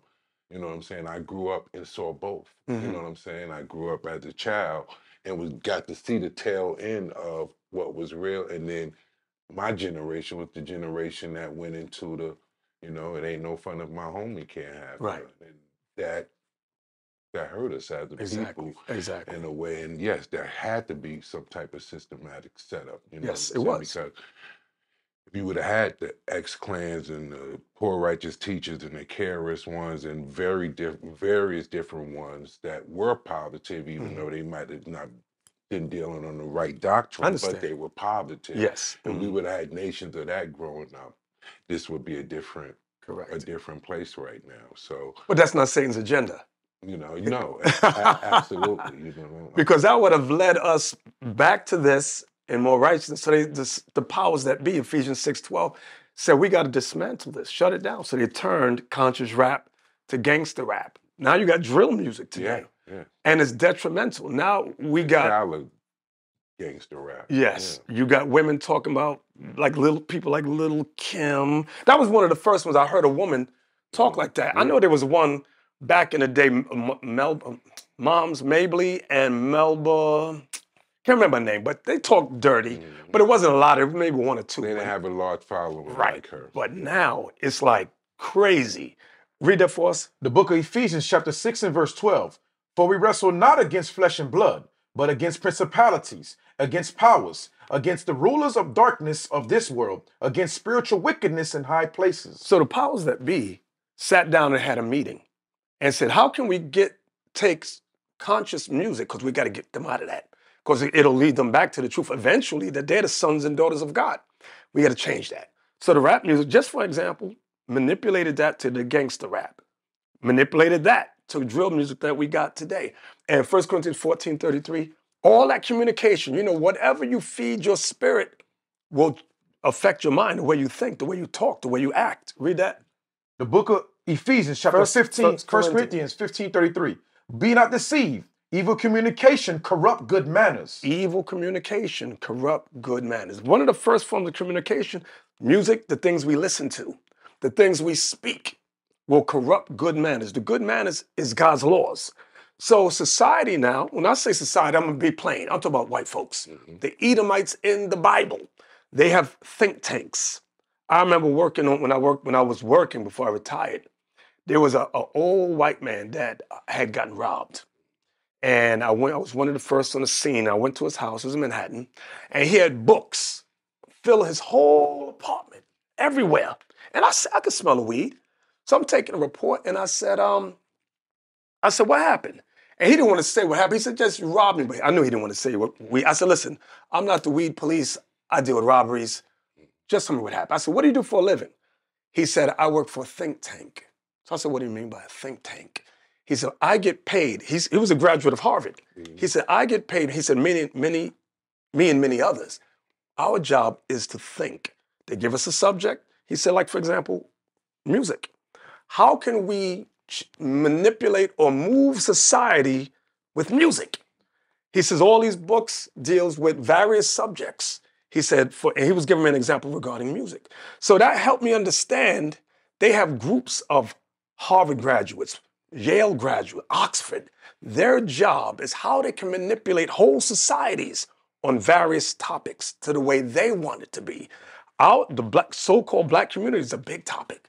How can they move us to get us to where they want us to go? Now you see, you got sexuality. The black woman's over sexualized. No other race of people does music calling their women bees and hoes except black and brown people. We're the only race that does that. And we don't see nothing wrong with it. We're the only race of women talking about how she can suck it and do this. And Glorilla did a song, of, she did a rap song in front of an abortion clinic. Was that her, if I'm not mistaken? Sexyy Red did a song. I forgot the name of this thing she did? My booty brown hole and all that. Yeah. And the women hold her up as a. "Ah!" But this is what these think tanks do. White folks don't do that. Chinese don't do it. East Indians don't do that. Only our people. Why? Because we're the children of Israel. And they said we can't let them wake up. They should never wake up, or else they're going to rule the planet again. And that's the fear. With that said, I want I want the the Megan Thee Stallions and the Sexyy Reds and the, and and those that are into drill music and gangster rap. For me, is never an attack on you. You know what I'm Right. saying? We all have fall short of the glory of the Lord, but we have to come into repentance and we have to somehow come to the truth of God. You know Exactly. That saying? We 100%. yeah, we have to sit down and you know crack this book. We have to see that the road that we on is detrimental to our people. Mhm. It's detrimental to yourself. You know, so I just want that, you know, because so many people will hear this and they, you know, Well, I'm to add to that. take it as and go out like Mhm. we've attacked them, and instead of seeing the love, you know Mhm. what I'm saying? You know, we love you. It's not for me. It's never an attack on you. You know what I'm saying? I want to add to that. Get First Corinthians 6 and 9. People, I'm going to tell you about the LGBT community. You say, hey, bro, man should not lay down with mankind. "Ah, you want to kill me? You hate? No, Yeah. it's not that. Like if I see a brother, I know brothers that steal. Bro, the mm-hmm. Bible says thou shalt not steal. Mm-hmm. M- most brothers, they know that's not an attack on them. Mm-hmm. I'm my, that's out of genuine love to, hey, fix your life. You're going to end up in jail or dead. Okay? So likewise, the LGBT community, the rappers that's in that, that life of rapping, getting us to go the opposite way of God. Watch what it says here. The book of 1 Corinthians, chapter 6 and verse 9. Know ye not that the unrighteous shall not inherit the kingdom of God? The unrighteous shall not inherit the kingdom of God. Now I'm going to pause there. Mm-hmm. The kingdom of God is going to be on earth. Like the Lord's Prayer says Our Father which art in heaven, hallowed be thy name. Thy kingdom come, thy will be done in earth. In earth. So when Christ comes, he's going to set up the kingdom here.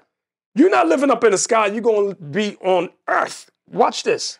Be not deceived, neither fornicators, Neither fornicators, neither, nor adulterers, nor adulterers, nor adulterers, idolaters, nor idolaters, nor effeminate, nor effeminate. That's girly boys. You might not be having sex with a man, but you act very feminine. Go ahead. nor abusers of themselves with mankind, Now that's homosexuals and lesbians, nor thieves, nor thieves, nor covetous, nor covetous, nor drunkards, nor drunkards, nor revelers, nor revelers, nor extortioners, nor extortioners. shall inherit the kingdom of God. Here it comes. Are- and, and such were some of you. And such were some of you. But ye are washed, but ye are sanctified. So But- what does this prove? They changed their life. Yes. Some of the disciples that came and followed Christ, some of them were effeminate. Some of them were uh, abusers of themselves of Right. mankind. Some of them were thieves. idolaters. Idolaters, they changed their life. That's the message.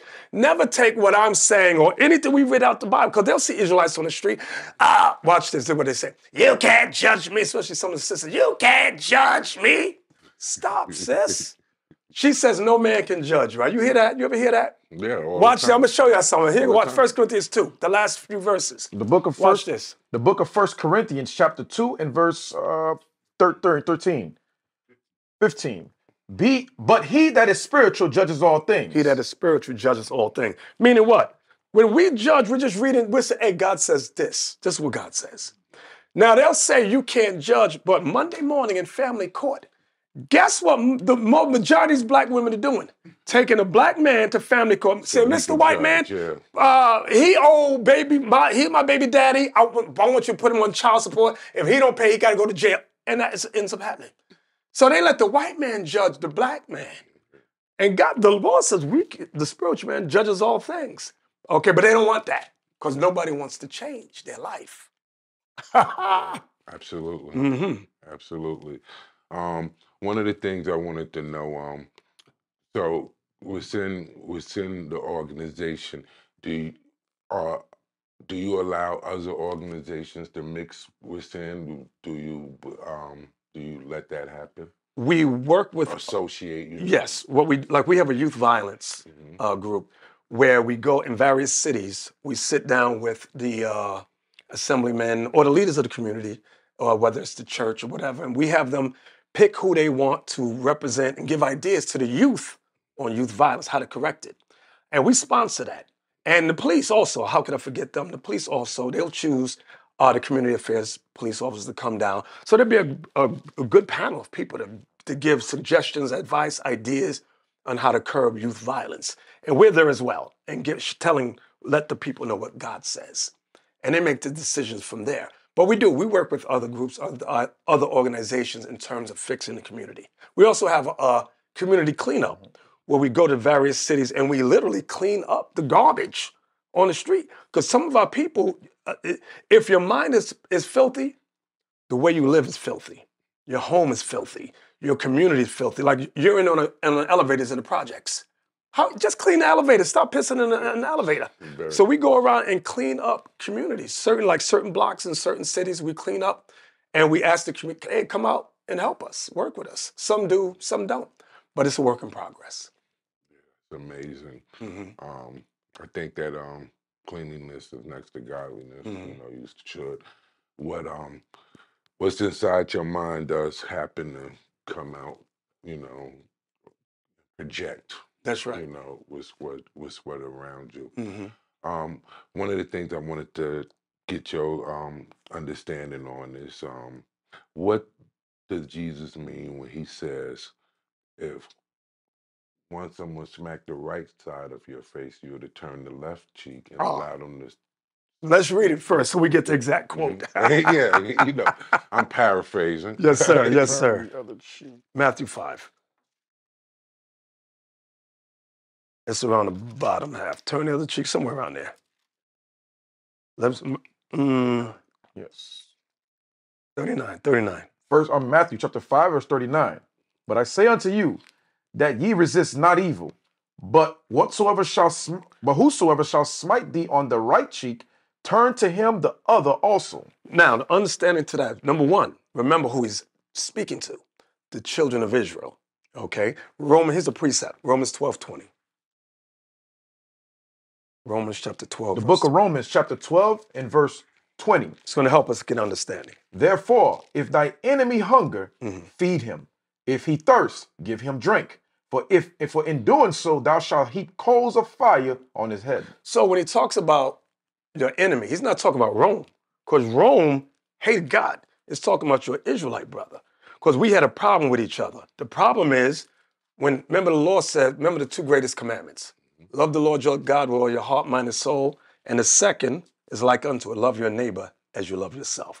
The problem with our people, we will love our slave master before we love each other. That's why we will shoot each other, but we will never come against this white man that enslaved us. Now, I'm not advocating violence at all, but I'm showing you the the the, the relation how we will fight each other first, but we will bend the knee to this white man. Okay. So now, enemy. I'm gonna deal with this enemy. Matthew. Uh, I mean, um, get me uh, Exodus 23, 2 and 3. Book- The book of Exodus, chapter 23 and verse 2. Thou shalt thou shalt not follow a multitude to do evil, neither shalt thou speak in the cause to decline after many to wrest judgment. Verse 3. Neither shalt thou con- countenance a uh, a poor man. Exodus his cause. 23, 2 and 3. Exodus 23. You in Yes, 23, verse 2 and 4.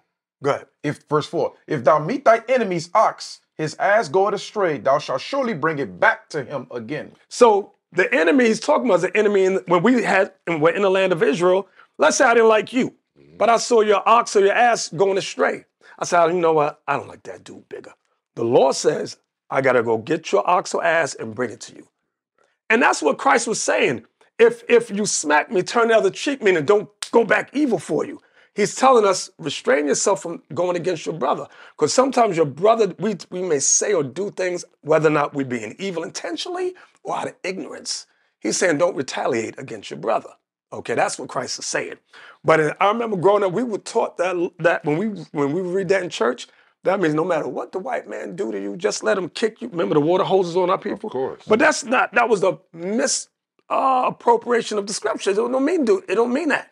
It means with each other. Learn because in order to become a strong nation of people, we've got to first have that sincere love one for another. Give me that law in Leviticus 19. Let me show you how this. Because we think our neighbor is other nations first. I'm gonna show you that. Leviticus 19. Leviticus 19, verse 17. Thou shalt hate, thou shalt not hate thy brother in thy heart. Thou shalt in any wise rebuke thy neighbor and not suffer sin upon him. So who's our neighbor? Thou shalt not avenge nor bear any grudge against the children of thy people. the children of your people. The children of your people. That's not the Chinese. That ain't the white man. That ain't the Arabs. We got to start to, those laws were for Israel to keep, for us to keep. And we've not applied these things to each other. If we read it, we'll apply it to other nations. We'll go, that white man is my neighbor. You ever see good times? Yeah, of course. Remember when little Michael brought black Jesus in the house? Yeah, of course. What does mama say? She didn't want him on the wall. Exactly. Because we don't, we can't love or respect anything that looks like us. Mm-hmm. Why? Because we've been taught to hate ourselves. He said I was drunk Ned or something. Yeah, yeah, Ned the Wino. Yeah, Ned do I yeah. Right. So and so, and this is what when we sit down with the various religious denominations, we say, listen, we got to teach this to the young men. We got to learn this amongst each other. And like I said, there's a few, one out of two will accept, but the vast majority say, no, no, no. They want to keep things the way they are. And if we keep things the way they are, it's going to get worse and worse and worse. Who would have ever thought uh, there'd be a rap video of a woman rapping about how she kills a baby, rips it out her. I would have never in my life thought anybody would rap about something like that. But that's the new thing, one of the new things going on. Kill that baby. Get that little. T- I remember I saw a video where a Ku Klux Klan member said, I want to say thank you to the black community for killing more black people than we ever thought of killing. And if you look at it today, that's what's happening. Starting, I know you want to hear black woman, but because yes, black men, we killing each other, but black woman, 19 million abortions from 1973 to now. 19 million black babies. That's murder at an astronomical level. You know, it's crazy. It's crazy, bro. We got we got to learn. Okay. you think that if we had something in place that um like the people wrestle with that should they not allow abortion you know A more abortion is murder. Yeah It should not be allowed at all. You know, God gives us the root of it in Ezekiel. If I if give me a second, if I can just find that real quick, bear with me. I'm about abortion. I'm gonna talk about that. Uh, it might be Ezekiel 23. Ezekiel 23. I'm gonna show you the root of abortion. Where it come from. Start at verse 37. Watch this. The book of Ezekiel, chapter 23, and verse 37. That they have committed adultery, The first sin is adultery being committed. Go ahead. and blood is in their hands, Mhm. and with the and with their idols have they committed adultery. The second law broken is idolatry. Like in church, when you worship white Jesus, that's idolatry. That's the second law. Go ahead. and have also caused their sons, whom they bear unto me, to pass from them through the fire to devour them. Killing babies. That's abortion right there. Abortion. Watch this. Moreover, this have they done unto me. They have defiled my sanctuary in the same day, and have profaned my Sabbaths. Right. For when they had slain their children to their idols, When they have slain their children, meaning killed their babies to their idols. Go ahead. then they came to the, the same day Then they came the same day. into my sanctuary to profane it. Mhm. And lo, thus have they done in the midst of mine house. Our sisters who are committing adultery, the majority religion of them is Christianity. They, when you see that cross, they'll say, I'm a Christian, but they are killing babies. Why? Because they're not being taught, thou shalt not commit adultery. They're not being taught, thou shalt not kill. They're not being taught that. And it must be emphasized by the men. Men and older women in the community must be teaching that to the youth, to the young. Some of our generation, I don't want to cut them loose. I don't want to ever feel like there's no hope for them because I think there's hope for us, all of us. But until the Lord, until the Lord pulls the breath of life from them, there's hope. There's hope for them. So we got to keep teaching, keep preaching. They might get mad at us. They might see that, oh, you hate me. It's not hatred, it's love, divine love to save your life, to save your soul. So my- I beg and I plead, Israel, we got to repent. Black man, black woman, we must repent as a people, as a nation, as a race. Yeah, it's all about repentance. Mm-hmm. Um, do you feel that since you say that it's a brother thing when we slap the other cheek and turn the other cheek, what is your position on um, the recent fighting between, you know, um, the camps? The, fi- the fightings between the camps. Ugh, I saw it and it broke Yes. my heart. You know what Yes. I'm saying? I don't, you know. Give me why they betrayed Christ. Let me show you this. I got, uh, since you brought that up, because those of you that know is united in Christ, we teach the commandments. Love your neighbor. That's the first thing. When you see beefing and all that, understand this. It's never coming from us. You know what I'm talking about? Uh, he knew that for, Matthew 26.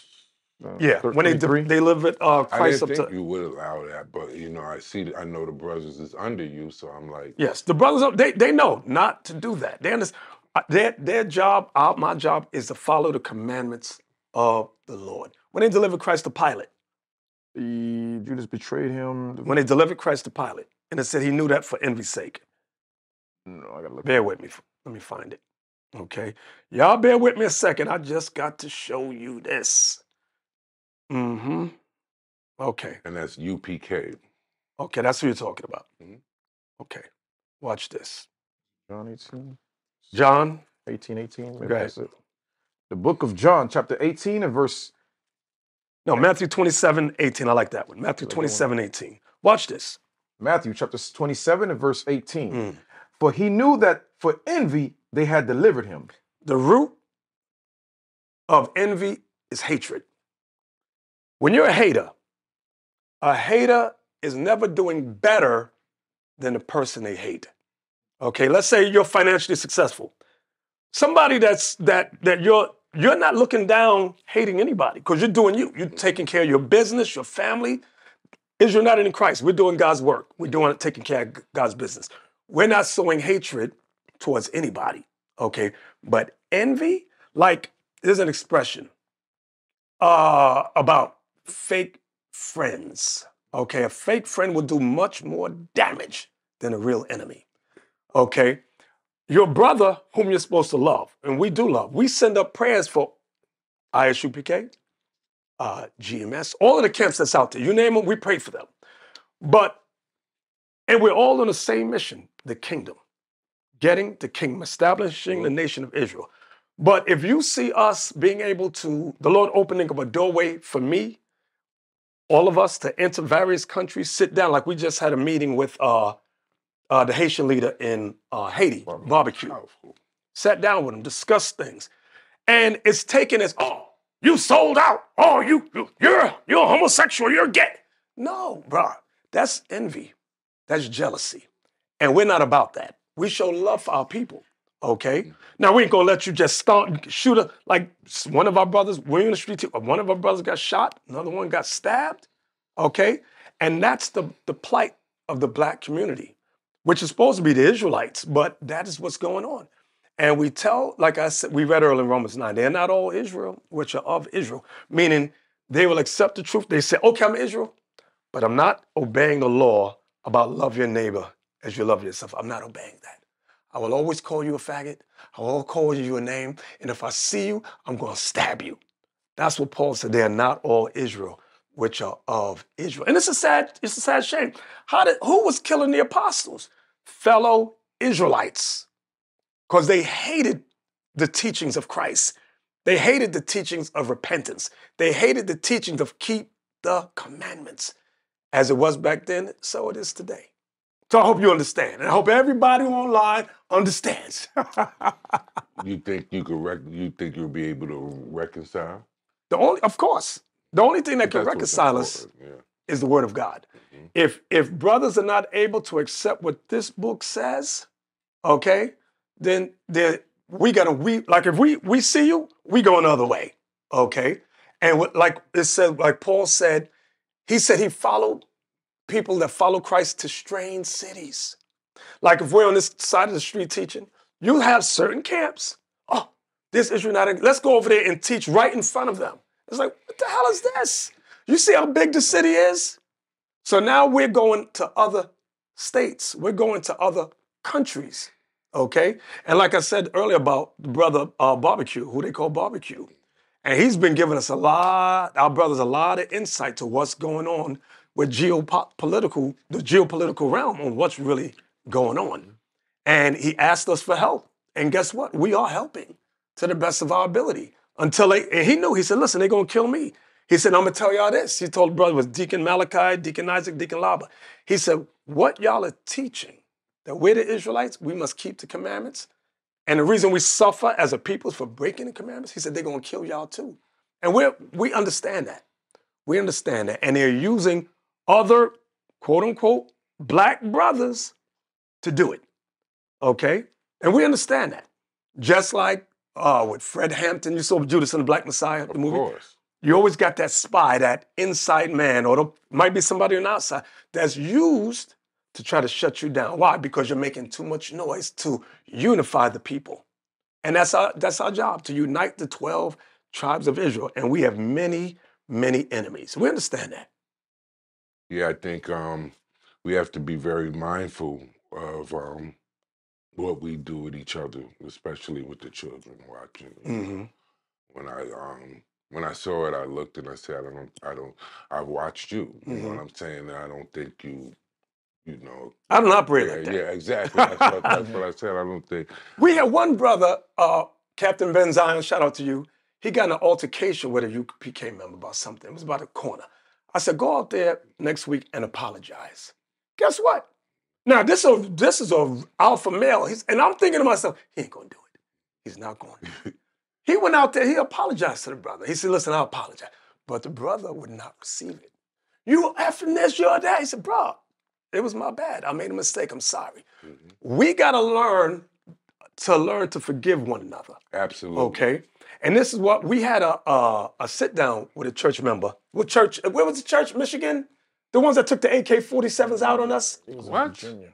It was in Virginia. I Virginia, Virginia. They took AK They had AKs. We got the video.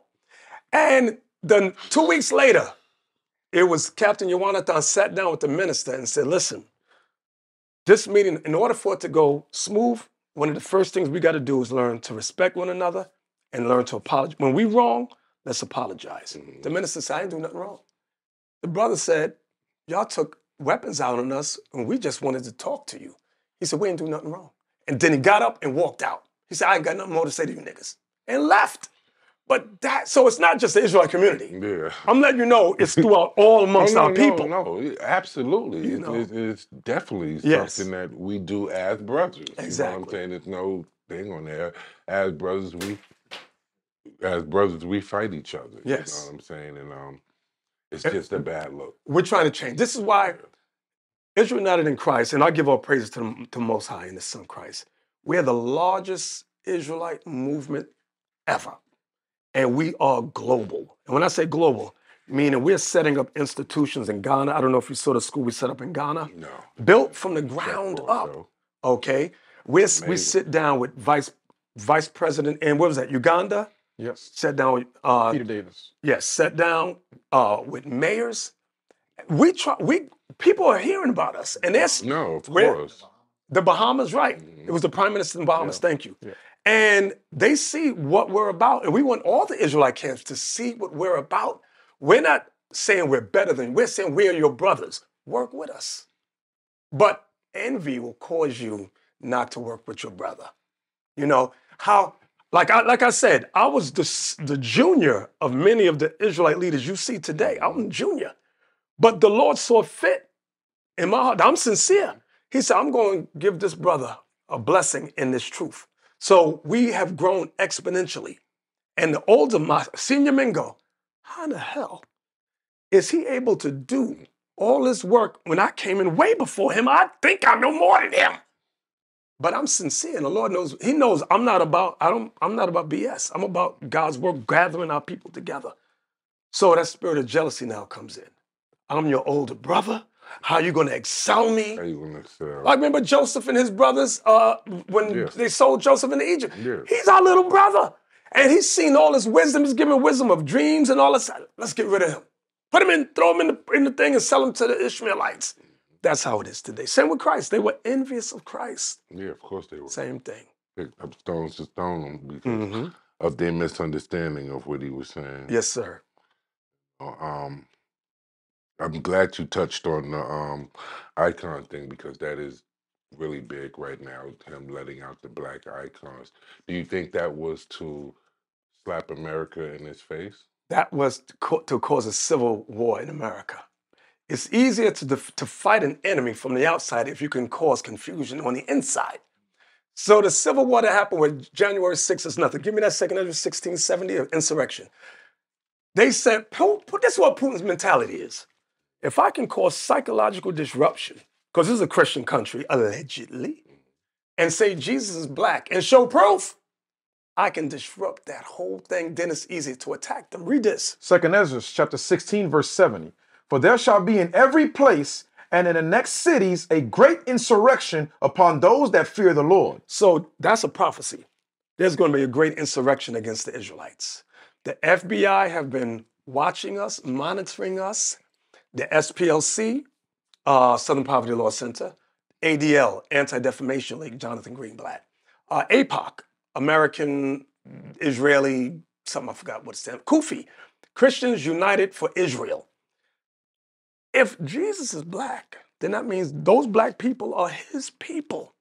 Putin said Jesus is black. Pow, what you gonna do with that? Which means the people in Israel that's y'all supporting, those ain't the people of God. The prophecy says there's gonna be an insurrection against our people. And that's what's going to happen. As we growing in this truth, they see us making moves going country to country. They say, yo, these ain't no ordinary dudes just standing on the corner talking about the white man and the devil. They're more than that. This is the dangerous group, them purple and gold dudes traveling here and there. They're gonna come against it. I understand that. The men with me, we all understand. Our wives understand that. We tell the women, get ready. It's gonna come. Or another one. If you ever look up the Canary Mission, if you say anything against so-called Israel and it's recorded, they put you on a list. Okay? Yes. a list to get you terminated from a job, to get you kicked out of a college, an institution. It's called Canary Mission. They work with the ADL, uh, CUFI. They work all they they're all united. They all work together against our people. You see a lot of people on that list. I'm on that list. That's this one of the most dangerous men in America. Well, of course. well, of course. I um watched you on the platform with um a so-called Jewish brother, Mhm. and um he asked you how many people, how many soldiers you had, and shied away from him. But Mhm. then you said, "All right, what's the roundabout number?" And he said four or five thousand. So I That was back then. That was back. That was back then. I said, "Oh man, you know what I'm saying? I could." Oh, it's a lot more than that now. You saw the Barclays Center. Yeah, yeah, of course. I'm like, here it is. I, I think, you know, my Lord thinks strong with a hundred or something. I said, Mhm. "Dude, thousands, I commend you, brother. That's know, praise to the Most that's, High. That's praise. something. Because when they take me out, guess what? There's going to be 144 other men. They know what I know. Yeah. Do what I do. Yeah. So I ain't nobody. I'm just a worm. No, all, Okay. we all are tools. Yeah, you know all tools. We all tools. Remember what J. Edgar Hoover said? He said the most, he said the most dangerous thing to the United States of America is Negro unity. That's why they, they got rid of the Black Panthers. They got rid of SNCC. They got rid of all those black revolution, all those black revolutionary groups that was on the rise. Co- COINTELPRO. Mm-hmm. So likewise, now their eye is on us, and they're trying. They say we had something to do with a Jersey shooting years ago, which we had nothing to do with that. FBI came by my house. Can we come in? I said, come on in. Sit down. We understand that you have something to do. I said, really? Israel United in Christ? I said, let me see the pictures, please. Because they knew I was used to work for the police department. Mm-hmm. I was, I, and I got cameras too. I said, I just want y'all to know you're being recorded in case you try something. Yeah. So they showed me the photos. I said, listen, those is Muslims that did that Jersey shoot. Those are not Israelites. Israelites don't even dress like that. So he goes, we know, but we're under pressure to interview the various Israelite groups. So I understood they're trying to paint a narrative that we're violent, we're filled with hate, we want to destroy everybody. And it's not true. We're just trying to raise up the 12 tribes. And when Christ comes, he gonna do what he gonna do. We're gonna leave it like that. Absolutely. Going back to the 12 tribes thing, it was something that um, I wanted to ask you about because I questioned this, you know. Um, and like I said, I don't know anything, but I have questions. Mhm. So I read the scripture, and he says that our punishment was that he was going to split us up on every corner of the earth. Yes. So then I think, I said, all right, so we got split up on every corner of the earth, and what happened? We went into slavery. Correct. And what did the slave master do? He raped our women Mhm. and he had all these kids. And then I think about, okay, I got the Italians. Italians is mixed with the Israelites. Yep. Then I think of the Jews in Russia. And I'm like, all right, Putin is letting out now the icon showing the Israelites was there. Right. I think about every so called group of white people, and you know what I realized? The Israelites was there. hmm So then I say to myself, Israelites' blood is in every every group of people. So if the Israelite blood is in every nation of people, wouldn't we all on this earth be Israelites? No. like I said, I'm just trying to yeah, Get you know, Ezekiel. break it down to me. I'll go show you Revelation, uh, I mean, Ezekiel 36, 5. Uh, when you learn about nations, so I'm going to go back to the Italian thing Yeah. because, um, read this. the book of Ezekiel, chapter 35, 36, and verse 5.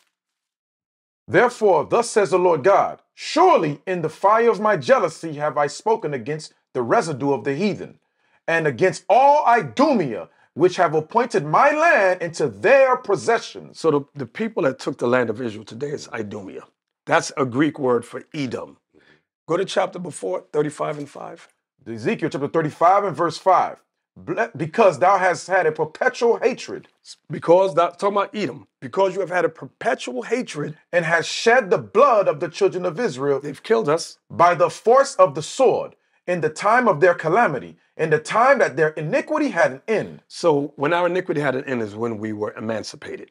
But what did they do? They set up things like Jim Crow laws, Ku Klux Klan, vagrancy laws, and they, they killed us continuously. Not just here in America, mm-hmm. but they did it to us in Italy, did it to us in Rome. So now some white people do have our blood in them. However, this is why Christ said, don't teach any man to break the commandments. When white people come around us, we say, listen, keep the commandments. They go, what can we do? We say, Christ said, if you love me, keep the commandments. Do that. Because guess what? If our blood is in them and they're keeping the commandments, there's nothing we could do to stop them from being delivered. Okay, you understand that? Regardless of what they look like. That's But on the other hand, mhm. if they're not our people, that, that natural hatred they have, like it said there, they're going to hate our guts. They're going to want to destroy us. And it's going to come out. Because the ones that say, oh, I believe in Israel, like I remember I was in Europe teaching one day, and a white woman said, oh, I believe that, that, we're, that you're Israel. I do believe that. I believe Jesus is black. Then she went to the police to get us arrested. and I and I just we didn't get arrested. though. funny. I You- know. you- I let her know. I said, listen, judgment's gonna come for you. So I'm letting you know, don't be fooled by a lot of them. Mhm. The history, even if they got a blood in, our blood in them. Remember, uh, oh, First Maccabees 1, watch this. I'm gonna show about our own people. Yeah. First Maccabees 1, 111. Six. Uh, 111 about they hated their own people. Yes. First Maccabees First chapter 1, Maccabees- About Antiochus. First Maccabees chapter 1 and hated verse, their own people. 15, verse 15. verse 15. First Maccabees 1 verse 15. And made themselves uncircumcised and f- Nope. It's right. It says they hated their own. Verse 11. verse 11. In those days went out of Israel wicked men who persuaded many, saying, Let us go and make a covenant with the heathen that are, are round about us. For since we had departed from them, we have had much sorrow. So now notice that wicked men of Israel. Now look at 1121. Chapter 11, verse 21. Thank you. First Maccabees 11, verse 21. Watch this. Come on. First Maccabees chapter 11, verse 21. And it reads, Then certain ungodly persons who hated their own people, What read it again? then certain ungodly persons who hated their own people, Amongst us, even us melanated people, there's some of us who hate our own people. Absolutely. There's some of our, like you talked about the Sicilians, a lot of them hate us, although our blood is in them. Yeah. They're not going to be saved unless they keep the commandments in Christ. They got to support this truth. They got to come and support this truth. They ain't got to sit with us. Support behind the scenes. Keep the commandments. And guess what? There's nothing we can say that will keep them from being delivered. They'll be delivered. You understand? I understand. All that. praise. I agree with that. You know I'm saying? I- um, because, like you just said, you have those out there that's going to say, "What's going to happen to me?" You know what I'm saying? You know, where do I fit in this? And you know, that was just something that me studying scripture all the years I have, I sat back and I said, our blood must be mixed in everyone.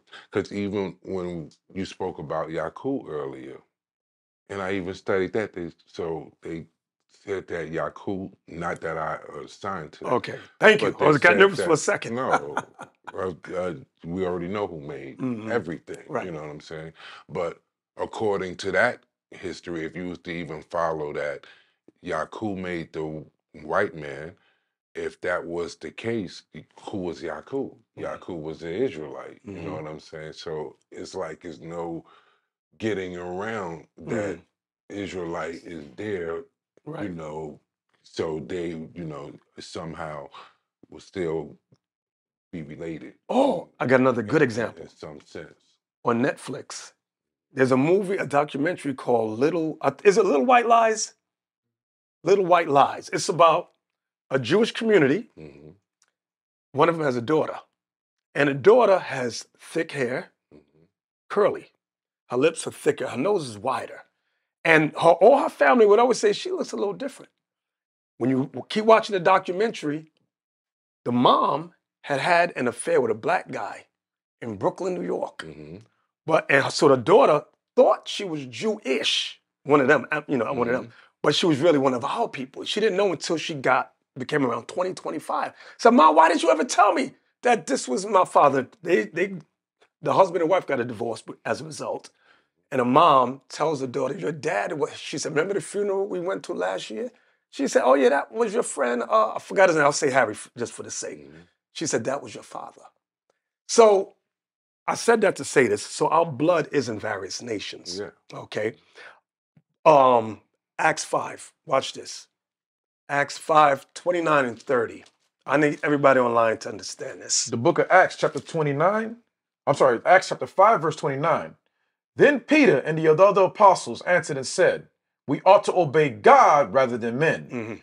The God of our fathers raised up Jesus, whom ye slew and hung on a tree. Him hath God exalted with his right hand to be a prince and a savior, for to give repentance to Israel and forgiveness of sins. Repentance to who? Israel and forgiveness of sins. Repentance to who? Israel and forgiveness of sins. If our people are not coming as Israel, repentance is not open to them. We cannot say, oh, I repent as a Catholic, I repent. As a Baptist, that's not in here.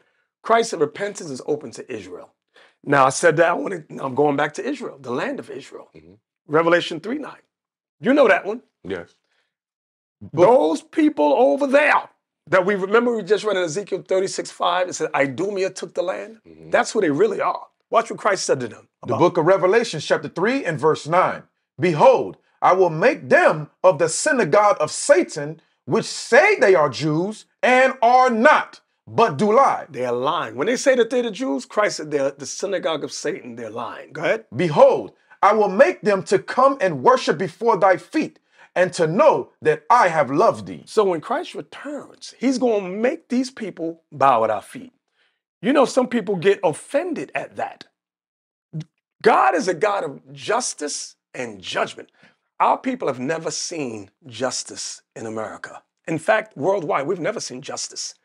Justice is if I steal from you, I must return what I stole.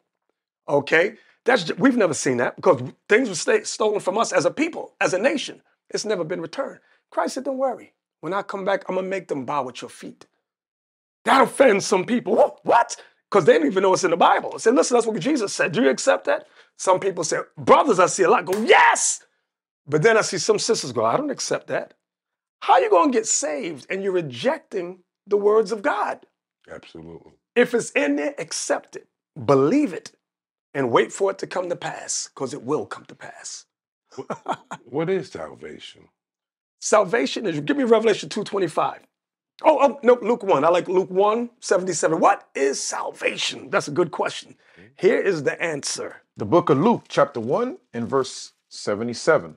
No, not 77. Luke 1. Let's start it. Yes. 68. Blessed be the Lord God of Israel, Lord God of who? of Israel, Mhm. for he hath visited and redeemed his people, and hath raised up an horn of salvation for us in the house of his servant David. Christ is the horn of salvation. Go ahead. So the question is, what is salvation? Watch this. as he spake by the mouth of his holy prophets, which have been since the world began, that we should be saved from our enemies and from the hand of all that hate us. So you ask me, what is salvation? Being saved from our enemies and from the hand of all that hate us. That's salvation. That's what Christ is coming to do. When we hear people say, oh, I'm saved, no, you're not. Not yet. We are still captive here in the United States of America. Mm-hmm. Okay? Until Christ comes and saves us. And then he asks them, who's the enemies and the, who's the one that hates us?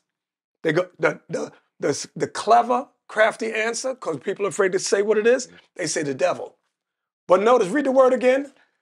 Uh, Luke chapter 1, verse 71, that we should be saved from our enemies. Enemies. Plural. Not the devil. Enemies. So who's now watch, I'm gonna show the enemies, Deuteronomy, and now you know, but I need our people who's the enemies? Deuteronomy 28, 68. Deuteronomy chapter 28, verse 68. And the Lord shall bring thee into Egypt again The Lord shall bring you into slavery again. with ships, Ships, slave ships. by the way whereof I spake unto thee, that thou shalt see it no more again. Mhm. And there ye shall be sold unto your enemies There you shall be sold to your enemies. for bondmen Slave men and bondwomen, slave women. and no man shall buy you. no man shall save us from the condition God put us in. So now, who are the enemies that sold us? The white man, the Arab man, the Chinese man, the East Indian man. All nations had a hand in it. So now Christ is coming to save us from these very same enemies hmm. that the Bible speaks of. Remember, the Old Testament and New Testament is one book. Yes. People like to separate it. No, it goes together. Yeah. Okay. So the enemies is talking about there is the same enemies Christ said, I'm gonna save you from the enemies. So our people, some of our religious people go, hmm. I don't know who the enemies are. You've never heard about slavery? Oh, you heard about it, but you want to turn a blind eye to the truth that you know there is. Yeah, that's um I love that. Um death. You say death is Death, you got the physical death. Okay, like uh get me that Sirach 40, Ecclesiastes. Let me show you that. Watch this. Death. We're gonna talk about death for a moment in time. Ecclesiasticus, it's either 40 or 41. Let me look. It says it's over all flesh. I want that one. Uh, bear with me. I just got to find it for a second. yeah, no, you- Mm. This is uh, verse 3, 40, 41 and 3. Yes. Yeah, let me hear it. Sirach chapter 41 and verse 3. Fear not the sentence of death. Remember them that have been before thee and that come after. For this is the sentence of the Lord over all flesh. All flesh is appointed to death. And the death this is talking about is the death of this body. But there's another death. Give me that in Matthew uh, 10. What Christ death. said. The second death. Which I Now- was coming next. Exactly. Matthew 10, around uh, fear not him that can Kill the body in this. right here. Matthew chapter 10, verse 30. Or is it over here? Uh, yes. You know what I'm talking about? Yes. What about kill a body? 28. Okay. Matthew 10, verse 28. And fear not them which kill the body, Fear not them that kill the body. but are not I, but are not able to kill the soul. They can't kill the soul. but rather fear him which is able to destroy both soul and body in hell. Now the question is, well, what is that hell that Christ is talking about? that comes next. Go go back to Revelation 14. Watch this. And verse 9. And read down. The book of Revelation, chapter 14 and verse 9. And the third angel followed them, saying with a loud voice, If any man worship the beast and his image, If any man worship this white man and his image, and receive his mark you receive his philosophies, in his forehead mm-hmm. or in his hand, you support it, the same shall drink of the wine of the wrath of God, which is poured out without mixture into the cup of his indignation. watch this. and he shall be tormented with fire and brimstones in the presence of the holy angels and in the presence of the lamb You see that? So that's that second death. That's the, that we don't want. Nobody, we, none of us want that. That's why remember Romans 6, it says the for the wages of sin is is surely death. death. Read that Romans 6, 23. But the gift of God, read that. the book of romans uh, Chapter 6, verse 23. chapter 6 and verse 23 let me Yeah. get to it real quick Excuse me.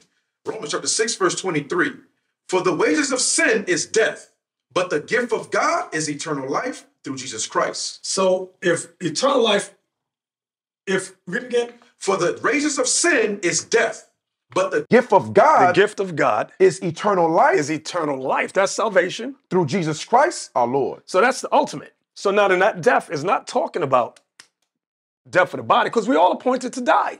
So that for the wages of sin is death is talking about that second death, that lake of fire death that comes when Christ return. Okay? That's what we all want to avoid. Okay. I don't know about you. I hope I can speak for you and say we don't want to go in that thing. Okay. So that's for our brothers and sisters online. We're supposed to have that that that that fear of the most high. That I would like to avoid both of them. You know? well, you want eternal life, I'm sure. Yeah, of course. Yes, I know you want to avoid the death of this body too. Yeah, well, Okay. This from I would like to believe from my understanding, Mm. once I give my life and my life was in Christ, I have already defeated death. That yes, the, the death you've defeated Yeah. is that eternal death, Yeah. that damnation that Christ is And, talking and, about. and, uh, and scripture says that death no longer has the sting. Exactly. Remember what Christ said in John 12? Give me that, John 12, 29. Watch that. I need y'all to watch this. Now, some of y'all gonna believe, some of y'all not gonna believe. I can't help everybody. Is it John 12, 29?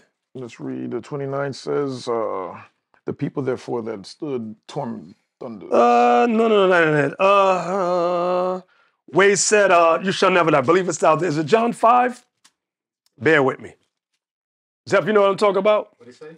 Uh, if do you believe that about never dying? That's the- Mm, okay. Let me find it. Let me find Yeah. it. Believe it's out there. 26. 1126, thank you. John 11, verse 26. John chapter 11, verse, you said 11, 26? Yes, sir. Start at 25. Right. Verse 25. That's it. It reads, Jesus said unto her, I am the resurrection and the life. He that believeth in me, though he were dead, ye shall live. Yet shall he, let me read it, let me read it. Jesus said unto her, I am the resurrection and the life. He that believeth in me, though he were dead, yet shall he live. And whosoever liveth and believeth in me shall never die. Believest thou this? So now remember that our Lazarus. And he had he resurrected Lazarus from the dead. So that's what Christ is telling us. He said, Don't, don't fear. We've been taught to fear the death of this body. Absolutely. But when, guess what? You, let me show you something. When we die, watch Revelation 6, I want verse, I think it's 9, under the altar.